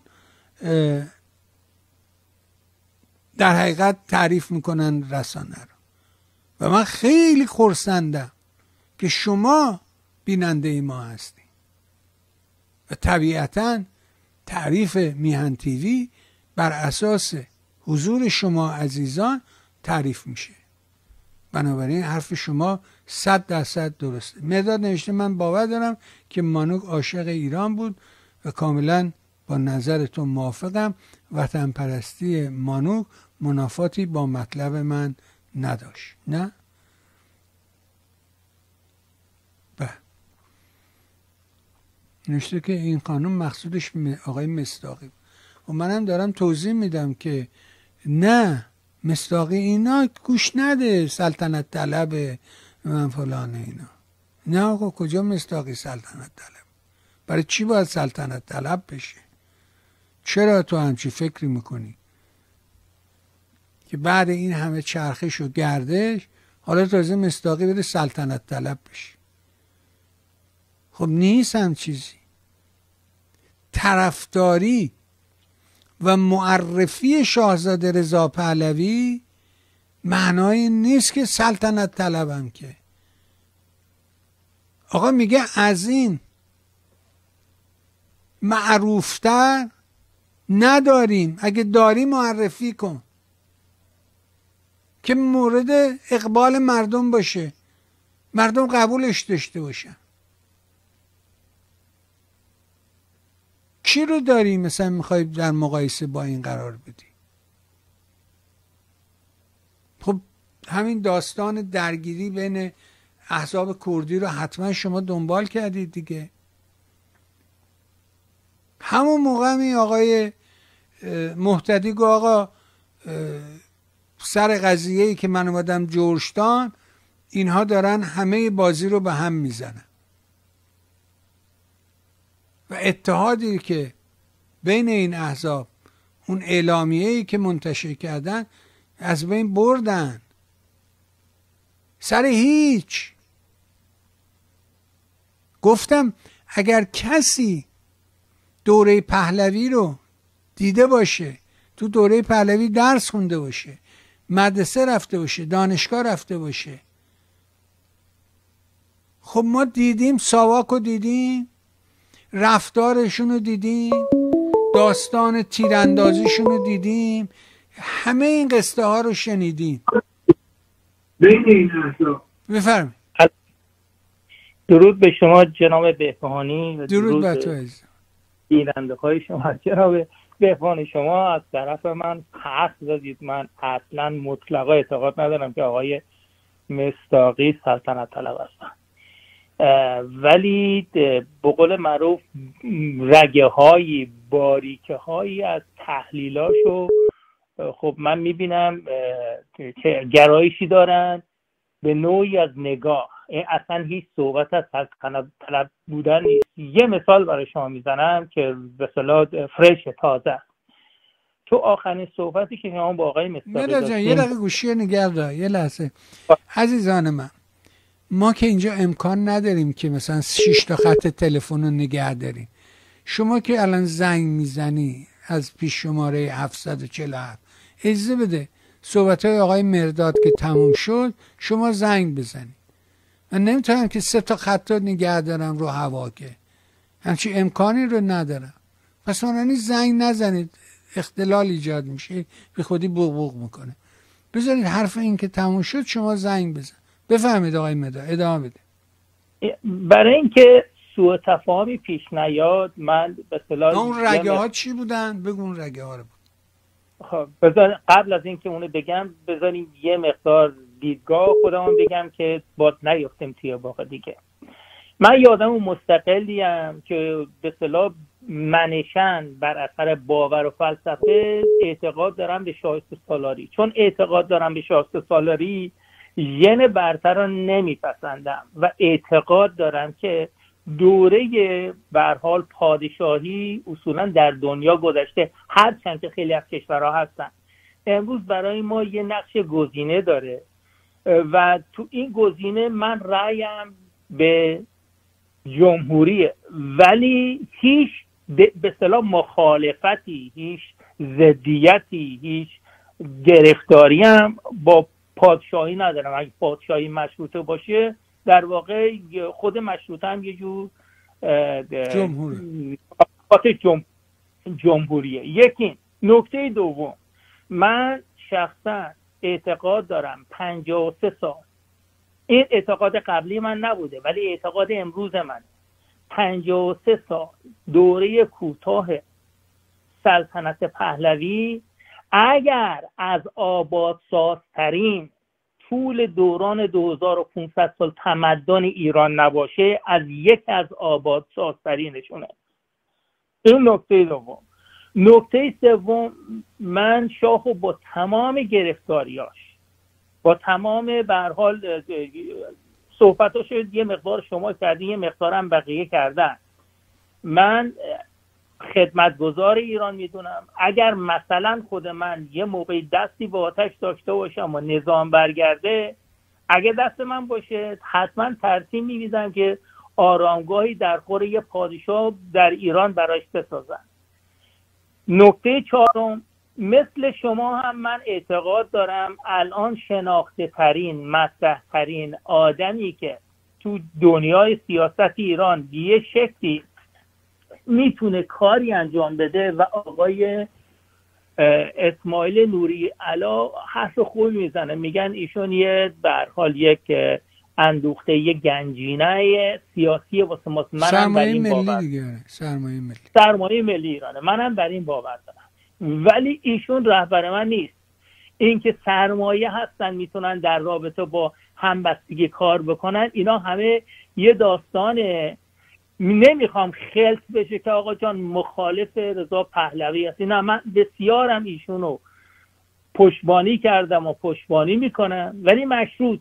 مشروطش هم اینه که با اون پیغامی که در پیمان نوینش داد پایبند. بر اون باور باشه و تا امروز هم هنوز هست. اشتباهات ریز و درشت زیاد داره. کیه که نداشته باشه؟ من خودم از دوره ای که یک جوری پام به سیاست کشید تا حالا 15 بار ملق زدم. آدمی که اگه حرکت بکنه اشتباه می‌کنه. ولی اگه از اشتباهاتش یاد بگیره یه داستان دیگه این مطالب گفتن که آقا جان نمی‌دونم مهر ضد نمی‌دونم این داستان ضد اون مثلا نخوره. در رابطه با آقای مستاقی اتفاقا من از آقای مستاقی خیلی چیزا یاد گرفتم. چون ایشون ایشون هم یه گنجینه از تجربه. خیلی. و و و به اضافه اینکه با کسی هم رو درواسی نداره حرفش خیلی رو راست می‌زنه و این حرفا. و من از ایشون اون چیزایی که من خودم تجربه نکردم از ایشون یاد گرفتم. لذا فکر می‌کنم نوع تفکر من اگه بخوام مقایسه بکنم با آقای مستاقی یک جورایی موازی با ایشونه در بعضی جاها منطبقه. ولی خب یه سری از نظراتشون هم نمیپسندم. به عنوان مثال گفتم مثالی که خواستم به شما بزنم همین تحلیلی که در آخرین گفتگویی که شما داشتین با آقای مستاقی. و ایشون خیلی ساده روشن به صلاح مشخص کردن که یک یک روشنفکر به عنوان روشنفکر دستش بازه که هر چی که میل داره می‌خواد بگه بتونه بگه. و این حرفیشون هم کاملا درسته و پادشاه به عنوان یه پادشاه یک کشور شیعه باید یه سری مسائل در نظر داشته باشه این کارو بکنه اون کارو بکنه ولی بیایم مقایسه بکنیم. خیلی ساده. شاه فقید با پدرش. سیاست هایی که اونم پادشاه مشروطه بود. ایشون هم پادشاه مشروطه است. اون کاری که رضا در رابطه به عنوان یه پادشاه مشروطه در رابطه با مذهب کرد خدا پدرش بیامرزه. درایتش. و این کاری که شاه در رابطه ارتباط با مذهب کرد. من اینو باور دارم. عمیقا به این مسئله باور دارم که سنگ... سنگینی اتفاقاتی که منجر به مسئله انقلاب 57 شد من اعتقاد دارم که سنگینیش رو بر, رو بر دوش شاه فقیده. اشتباهات ایران بر باده ایشونه. نه اینکه ما وسط این وسط هیچ کاره باشیم. چپا یا مثلا جریان های سیاسی. ولی یه نکته ای رو باید پذیرفت. اون نکته که باید پذیرفت وقتی که خیش به صلاح دیزاین می‌کردن طراحی می‌کردن یا کالسکه طراحی می‌کردن در دوران خودش بود. امروز هم اگه بخوان یه کالسکه بسازن کسی مثل کالسکه نمی‌دونم دوزار سال پیش نمی‌سازه. دورانی که خود من تجربه کردم من می‌دونم چه دورانی رو تجربه کردم خود آقای مستاقی چه دورانی رو تجربه کردن. اشتباهاتی که ما اون موقع می‌کردیم خیلی ساده و روشن پایه و اساسش نداشتن سواد سیاسی بود نداشتن تجربه سیاسی بود. تو کجا ما می‌تونستیم یه, یه جوون می‌تونست یه مطلبی رو بخونه. دیگه نهایتش نمی‌دونم. خواندنی ها بوده که مجله فردوسی بوده از این داستان ها اینکه یکی بتونه یه تجربه سیاسی پیدا بکنه یه دانش سیاسی پیدا بکنه نبود. لذا مخ ما عقل ما اون چیزی بود که به ما برای ما عرضه می‌شد و در ضمن صحبت های پشپش در گوشی این ور اون و هر کسی هم واسه خودش خر خودش این می‌کرد. این که به عنوان مثال نقش شریعتی و واقعا چه تأثیری داشت. یا مثلا یکی سمد بهرنگی کتاب ماهی قرمز کوچولو. ماهی بعد مثلا من خودم یادم میاد این کتابی که خونده بودم آنچنان این شور به صلاح یه سلحشوری و شور انقلاب و شور اون چیزی که اون موقع مطرح بود. امروز که می‌خونم می‌بینم که خب کتاب پرمایه نیست. یه چیزی نیستش که مثلا من بتونم حتی امروز در نظرش بگیرم بذارمش به اون کتاب های خوب. ولی ما یادم میاد تو اون موقع مثلا این این کتاب چه سر صدایی کرد. یا مثلا چه می‌دونم سری کتاب های شریعتی. یا حتی اون جلساتش تو حسینی ارشاد. برای من خودم از طریق یکی از به انگیزه های من خدا همین حسینی ارشاد بود. اینکه ذهنیت من اون موقع چی بود؟ یا ذهنیت خود آقای مصداق اون بود به خاطر شرایط خاص اون دوران بود. بله امروز من یک, یک کس دیگم. امروز من یه آدم دیگم. امروز من به علت شرایطی که هست تصمیم های فعلیمو می‌گیرم. ولی نمیام خودم رو جاج بکنم که آقا تو چرا اون موقع این کار کردی؟ خب اینکه اون موقع من تحت اون شرایط بودم.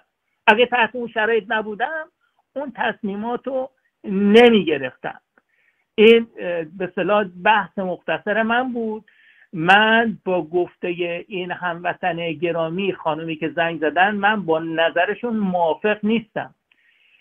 هر کسی نظرگاه خودش داره و خب ها فوش میدن ها موافقن ها مخالفن. ولی یه انباشته از یه سری آدما که به هر حال پاتوقشون رو تو این تلویزیون پیدا کردن و خوشبختانه یه برکهیه که توش انواع اقسام ماهیا پیدا میشه. قرمز و سیاه و بزرگ و کوچیک و این حرفا همه جورا هم یه جوری شانس ارتباط حالا من ممکنه آدمایی که مورد علاقه من مثلا یکیشون خونده برنامه آقای مستاقیه برنامه آقای سلیمیه.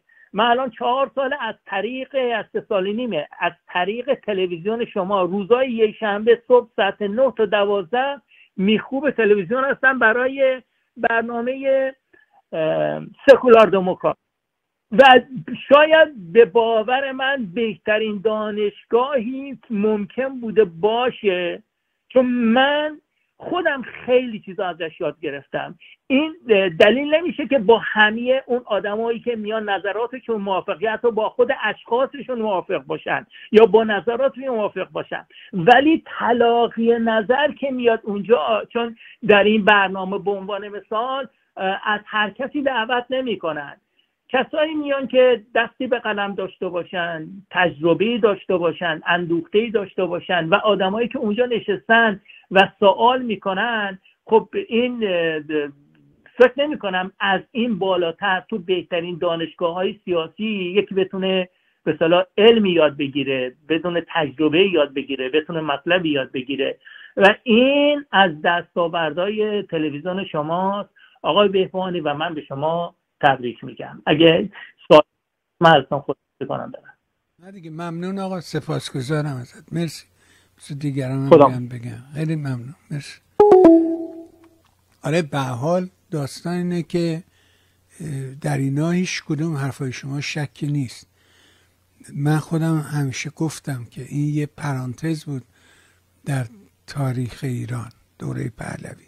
البته دیدم بعدها یه شخصیتی این رو کتابی نوشت تحت عنوان پهلوی پرانتز در تاریخ ایران که تو همون تلویزیون آقای نوریزاده تبلیغش رو می‌کردم ولی همه حرف بر سر همینه. اولا خود ببین وقتی امروز برنامه آقای شاینپر روی یه نکته اتکا داشت. در پاسخ به این که آقای نوریزاده نوشته بود که اون نامه ای که احمد تحت عنوان احمد رشیدی مطلق منتشر کرد. باعث نمی‌دونم این همه بدبختی شد. گفت نه و شاه با تصمیمات خودش یه تنه از ثانیه اولی که وارد کار شد تصمیم گرفت تا آخر که فهمید اشتباه کرده و یهو ول کرد و رفت. بفرم سلام بهبانی سلام عزیزم. علی هستم از لس آنجلس خدمتتون زنگ می‌زنم. آقای علی بفرم. آقای بهبانی من یه ده دقیقه می‌تونم وقت شما و شنوندگان بگیرم؟ بفهم.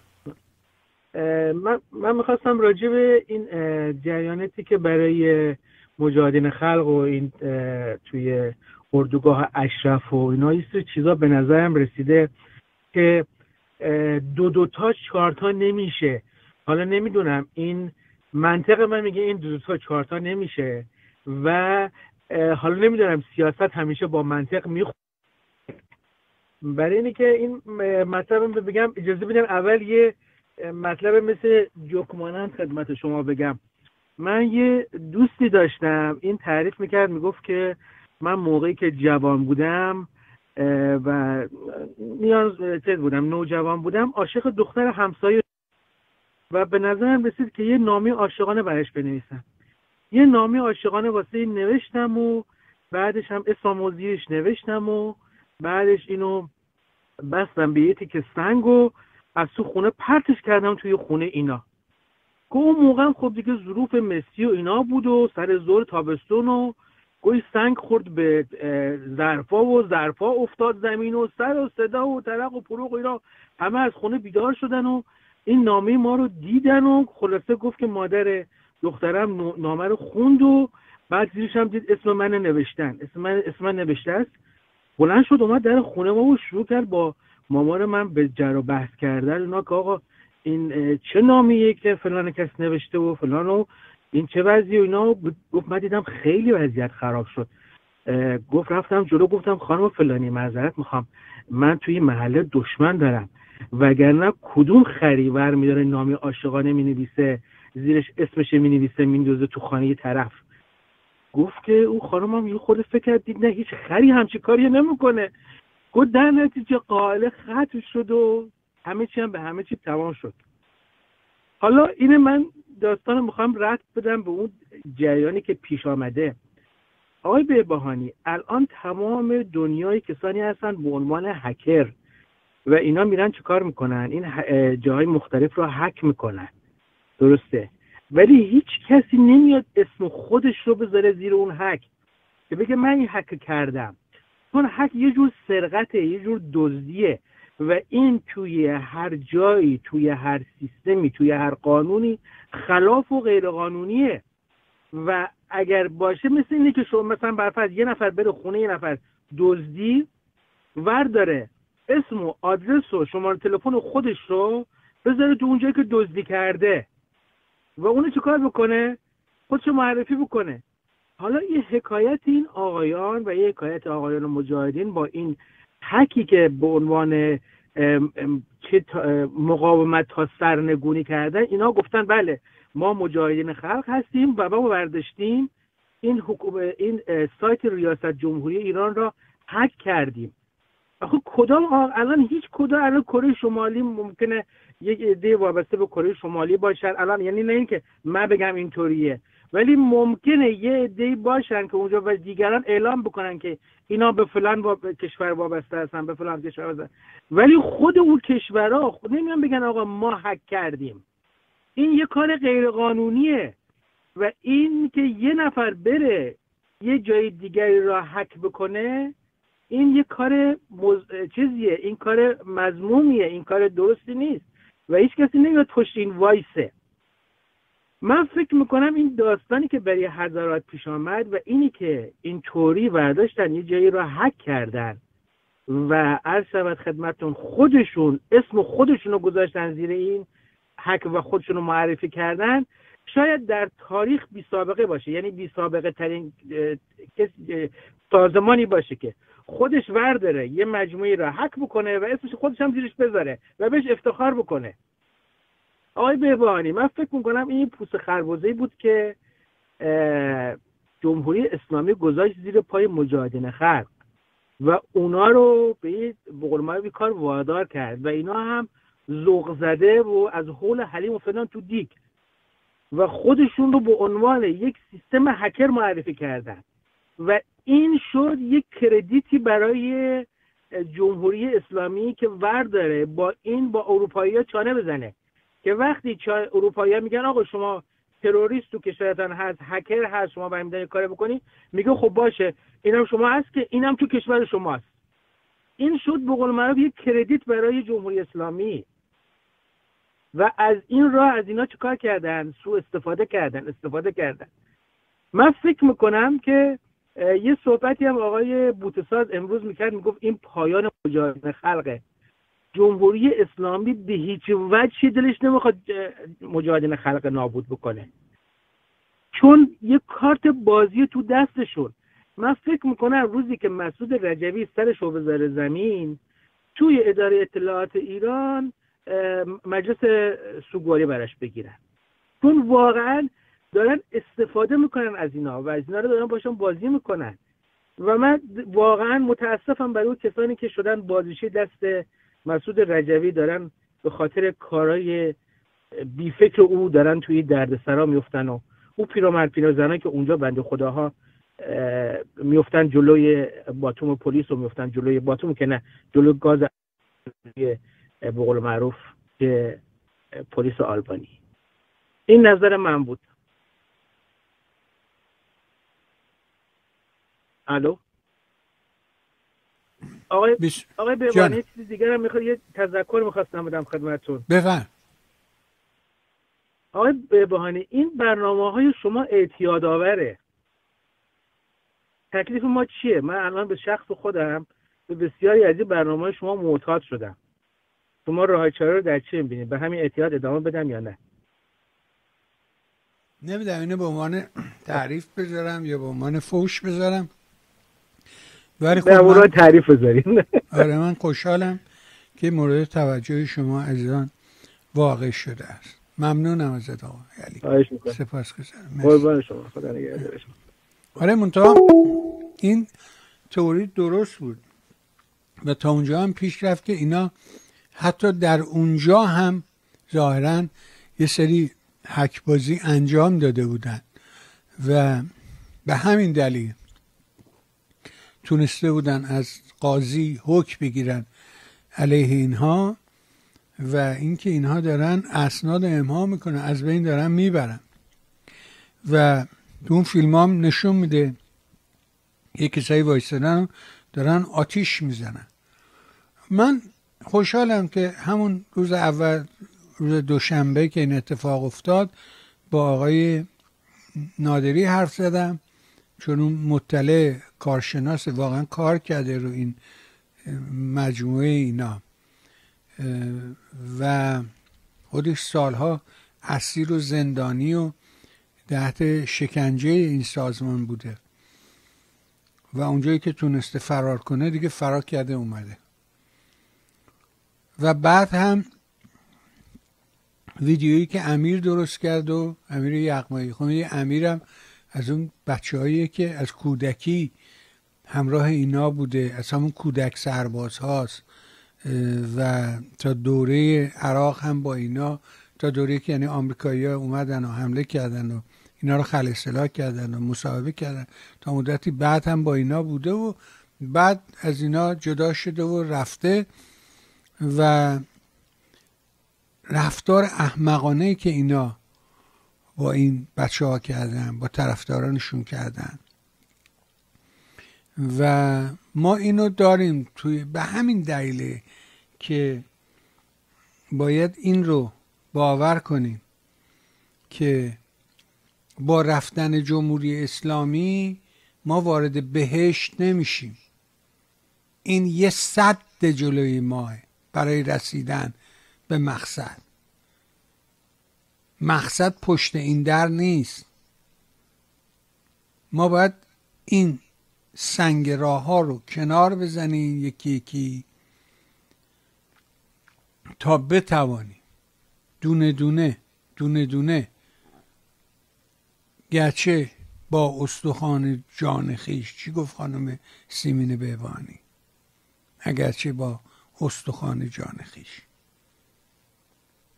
بتونیم این رو بسازیم. تلاش کنیم که بسازیمش. این که فکر کنی این بره و این همون قصه است. این قصه است که من دارم میگم. هی میگه تغییر تغییر کرده. تو نمی‌فهمی نمی‌دونم فلان. ولی من نگاه می‌کنم اینم هیچ تغییری صورت نگرفته. دوره خمینی شاه به خمینی همین بود. می‌گفت فرشته این دیو که بیرون رود فرشته پشت در نیسته میاد تو. فرشتش کی بود؟ یه مرتجعی به نام خمینی. من به راستی دعوت می‌کنم از شما که برنامه امروز آقای شاینپر رو ببینید. این لایک رو بزن چیزی ازت کم نمیشه. این دیگه حداقل کاریه که می‌تونی انجام بدی. روی این ویدیوها برید لایک کنید. من نمی‌دونم چرا این کار نمی‌کنه من وجدانن به حقیقت حق قسم که من هر برنامه رو که نگاه بکنم حتی اگر ازش خوشم نیاد اون دگمه لایک رو می‌زنم. یا اصلا دنبال نمی‌کنم. نگاه می‌کنم اینم سازندش کیه چی ساخته. نمیرم. دنبال نمی‌کنم. ولی اگه رفتم نگاه کردن حتی یه موجود محملی مثل مشتبای واحدی رو نگاه نمی‌کنم اما اگه کسی به من گفت فلان برنامهش فلان جاش فلان حرف زد. اگه رفتم اون پنج دقیقه رو نگاه کردم مطمئن باشه لایکی می‌زنم. این کار دیگه حداقل کاریه که می‌تونی بکنی. بازم میگم تاج اصفهان خواننده شهیر ما گفت جیبای تاج پر از کف است فقط برام کف زدن. اتفاقی نمیفته من روز اولی که بودم اینجا رو درست کردم اصلا توی رویا بودم. گفتم تمومه. امرو بعد 15 سال فهمیدم نه آقا چی تمومه؟ هنوز شروع هم نشده. بنابراین دعوت می‌کنم از شما عزیزان برنامه ها رو دنبال کنید لایک کنید ویدیوها رو ببینید و لایک کنید. از حمایت مالی ما رو محروم نکن. مطمئن باش آدمایی که این زیر اسمشون رو می‌بینی کسان هستن که دو دلار پول داده دو دلار. و این دو دلارش وقتی به ما می‌رسه میشه یک و هفتاد.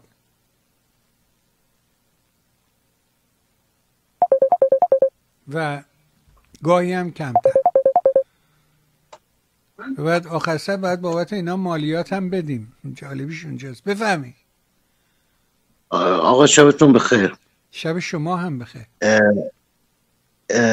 جناب بانی یه شما یه گوشه اشاره کردید به دعوای شهرام همایون با ناصر فخرآور امیر فخرآور.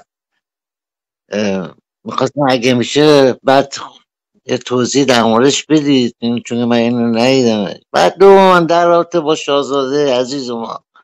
آقا این وسط ایشون اومده.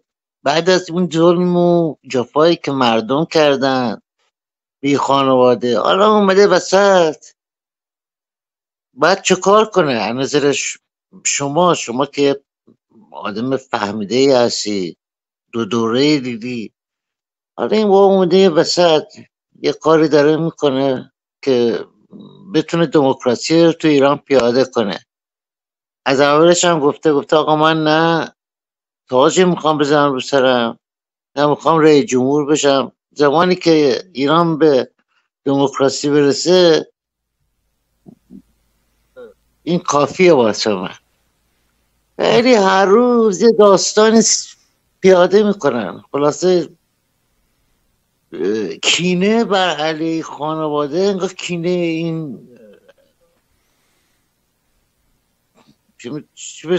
از ما چجوری دست بندی بکنن که توهینی نشه به کسی؟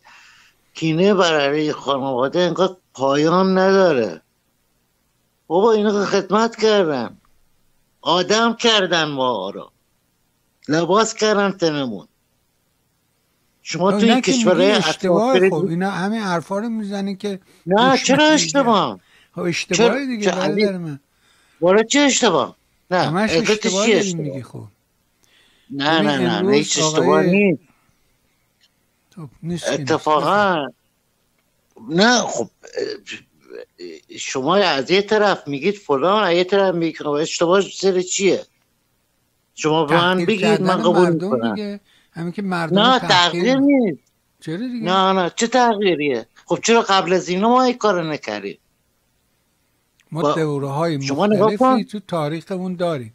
دوره بالا داریم دوره پایین داریم. خیلی دوره های مختلف داریم. آقا شپش و و نه این حرفا نزن. اینا به درد من نمون تمام خیلی تمام اینا نه مگه ددته است آخه توهین داری می‌کنی. مگه رضا شد ددته است که تراخو محبین بردیم هم شپش بین برد. اون سمه که این کار می‌کنه. نه آدم. نه بابا این حرفای بی خودی رو نزنید همینا رو می‌زنی گرفتاری درست می‌کنی دیگه. نه نه اینجوری نیست. اصلا کاملا امروز اتفاقا آقای شاهینپر این موضوع رو باز کرد توضیح داد. گفت که شاه جوان وقتی که اومد چجوری دست چک و عجیبش در می و می‌رفت مثلا کارخونه چیزسازی رو دیدن کنه. و تازه اینا درست شده بود تو اون مملکت. صنایع پارچه بافی.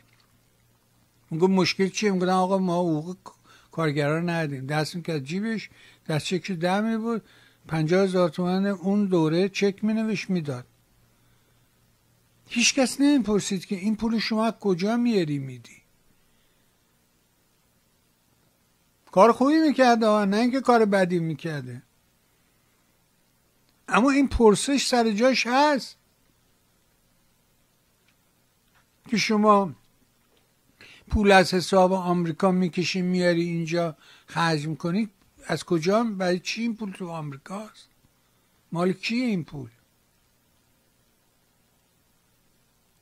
همینه که این همونه که میگم تغییر نکرد. خیال می‌کنه که دیو چو بیرون رود فرشته درای این میره و رضا پهلوی میاد و دموکراسی میاد دموکراسی رو کسی نمیاره. دموکراسی رو باید ایجاد کنی. نمی‌تونی بریم از بقالی بخریم. فروشی نیست. ماده نیست. که بشه برم بخرم بیارم از فرانسهش بخرم بهتره یا ژاپنیش؟ نه انگلیسیش میگن بهتره. البته الان میگن کره یه مدلیش سا اینجوری که نیستش که. یه رونده. شما از لحجت پیدا بود که بچه جنوبی. شمایی که نمی‌دونم توی مناطق نفخیز زندگی کردید اصلا متفاوتید. شما چیزی که ما دیدیم و ندیدید هرگز. برای اینکه شما در کنار انگلیسا که اونا برای رفاه خودشون آب درست کردن فاضلاب درست کردن فلان درست کردن شما هم در کنارش زش بهره برد. ولی من یادمه وقتی میراب میمد نصف شب ساعت دو شب در می‌زد با فانوسش اینطوری فانوس تکو می‌داد فریاد می‌زد میراب میراب بعد همه همسایه ها میمده از خونه هاشون بیرون بعد میمدی تو این جوب نگاه می‌کردی پر پوست خربوزه هندونه سیب بعد سگ مرده گربه مرده. هم میگو این آب رد شه. آب تمیز میاد. بعد اون آب و جلوش میبستن.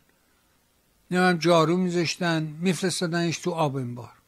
بعد می‌رفت تو آب انبار نگاه می‌کردی توش دو میلیون از این جونورا بود. کرم. می‌گفت این چیه میگو خاکشیره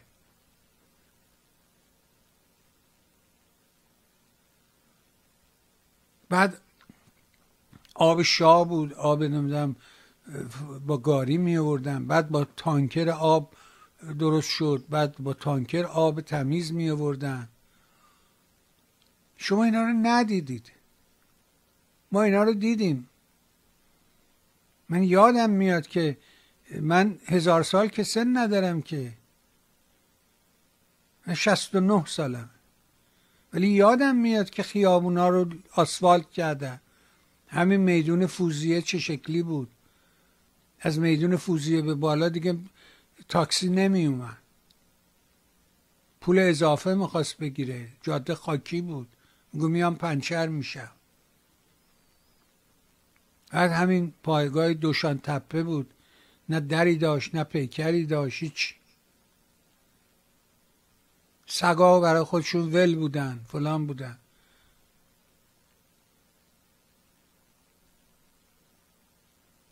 اما همه این کارا در اون بود که یه نفر تصمیم می‌گرفت. در کنفرانس اقتصادی رامسه 1354 که بزرگترین اقتصاددانای جهان رو دعوت کرده بودن. خودشون پول داده بودن خرج کرده بودن. اینا رو ارده بودن در رامسر که راجع به طرحهای شاه و طرحهای من پنج ساله و هفت ساله و اینا حرف بزن. وقتی اینا گفتن نه آقا نشدنی اینا که تو داری میگی خیاله و فکر می‌کنی شاه چی گفت؟ گفت اینا نفهمن نمی‌فهمن. خرن. بابا اینا دانشمندن. تو دعوت کردی؟ کلی تو روزنامه راجع به اینکه اینا چقدر مدارج علمی رو طی کردن راجع به حرف زدی. حالا که رسید به اینجا میگی قرن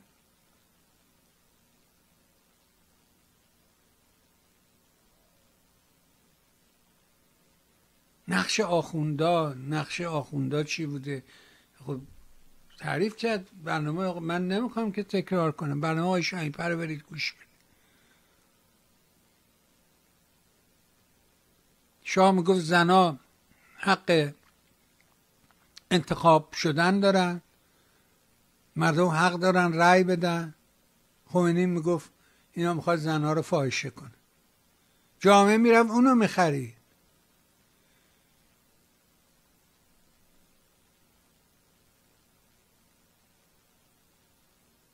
چرا؟ چون امروز هم تغییر نکرده. این همه بلا سر اون اومده. این همه بیچارهی کشیدیم هنوز داره میگه که آدم های فهیم فهمیده من. اینجا میاد. میگه مستاقی سلطنت طلبه.